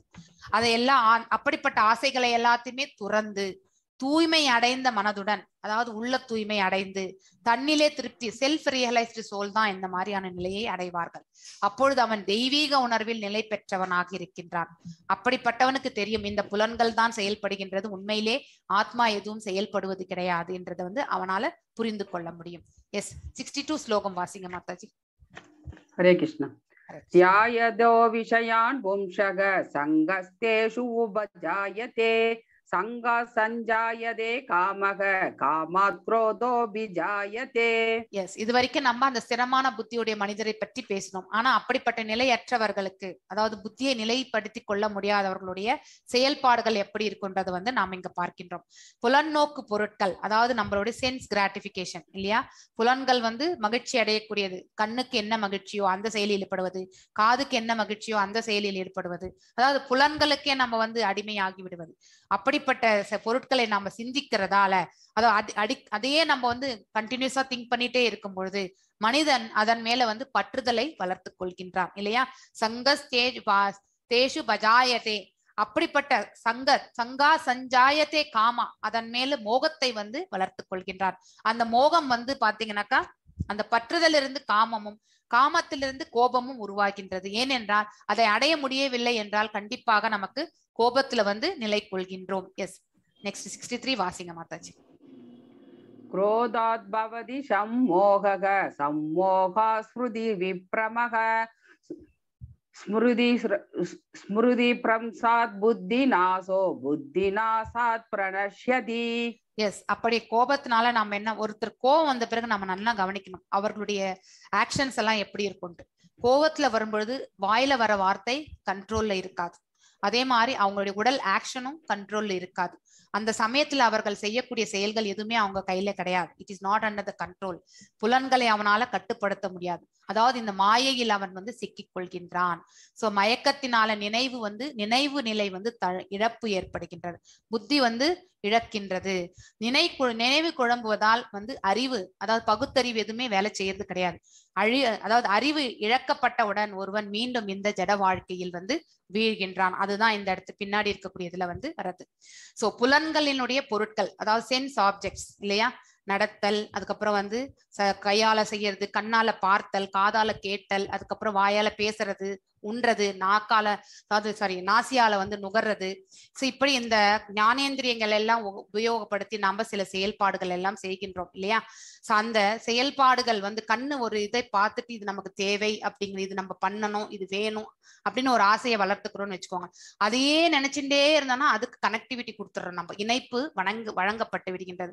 அந்த இணைப்பினால் என்ன ஆகின்றது? மனசு வந்து பேராசை கொள்ளக்கூடிய அந்த பக்குவ அந்த நிலைக்கு செல்கின்றது. அந்த கோ- அந்த பேராசையினால் என்ன ஆகுறதுனாக்கா அதை அந்த செயல் வந்து நம்ம அடைய முடியாவிட்டால் வெற்றி கொள்ள முடியாவிட்டால் கோபம் வந்து வருகின்றது இல்லையா? ஏதோ ஒண்ணு நம்ம வந்து செய்யணும்னு நினைக்கிறோம். ஆனா அதை செய்ய முடியாம போகும்போது நமக்கு வந்து வெறுப்பு கோபம் வருது ஹேட்டட்னஸ் எல்லாமே வருது. அந்த கோபத்தினால நம்ம செய்யக்கூடிய செயல்கள் எல்லாமே வந்து தவறான ஒரு செயலாக மாறிவிடுகின்றது. அதனால மயக்கம் நினைவு குழம்பிய நிலை அறிவு என்பது இன்டெலிஜென்ஸும் குறைஞ்சு போயிடுறது. இறுதியில வந்து அப்படிப்பட்ட மனிதன் வந்து வீழ்ச்சி அடைகின்றான். எக்ஸாம்பிள் நம்ம துரியோதனனே எடுத்துக்கலாம் இல்லையா? அவன் ரொம்பவுமே பொறாமை பிடிச்சவன் பேராசை பிடிச்சவன். அவனுக்கு நல் அஸ்தினாபுரம் என்ற பெரிய ஆஸ்தி இருந்த பொழுது கூட இந்திரபிரசத்தை வந்து அவர்கள் வந்து வனவாசம் முடிஞ்சிட்டு வந்த பிறகு கொடுத்திருக்கணும். அவன் கொடுக்கல இல்லையா? பேராசை. அவர்கள் தன்னிடம் இல்லாதது அவர்களிடம் இருக்கக்கூடாது. அப்படிப்பட்ட ஆசை அவனுக்கு. அதனால அவனுக்கு வந்து கடைசியில வந்து போருக்கு போரை எதிர்கொள்ள வேண்டிய சூழ்நிலை வந்து தள்ளப்படுகின்றான் இல்லையா? அந்த போர்ல வந்து அவன் தரப்புல வந்து எல்லா வீழ்ச்சிகளுமே அதாவது நிறைய படை இருந்தா கூட அவன் வந்து வீழ்ச்சியை தான் கண்டான். அவன் இறுதியில வந்து அறிவையும் இழந்தான். அப்படிப்பட்ட மனிதன் அவன் வந்து கடைசியில வந்து வீழ்ச்சியும் அடைந்தான். இதேதான் நம்மளுடைய எல்லாருக்குமே எக்ஸாம்பிள் கூட. சோ இதோட இந்த அத்தியாயம் வந்து முடிஞ்சது. ஏதாவது கொஸ்டின் ஆன்சர்ஸ் இருந்தா நீங்க கேட்கலாம். ஸோ எனி டவுட்ஸ் வாஞ்சகல்ப தாருபியஸ்ய கிருப்ப ஏவச்ச பதித்தனாம் பாவனேபியோ வைஷ்ணவேபியோ நமோ நமக ஜெய ஸ்ரீ கிருஷ்ண சைத்தன்ய பிரபு நித்யானந்த ஸ்ரீ அத்வைத கதாதார ஸ்ரீ வாசதி கௌர பக்த விருந்தா ஹரே கிருஷ்ணா ஹரே கிருஷ்ணா கிருஷ்ண கிருஷ்ண ஹரே ஹரே ஹரே ராம் ஹரே ராம் ராம் ராம் ஹரே ஹரே எஸ் ஏதாவது டவுட்ஸ் இருந்தா அன்மியூட் பண்ணி கேட்கலாம். நான் ரெக்கார்டிங் ஸ்டாப் பண்ணிடுறேன்.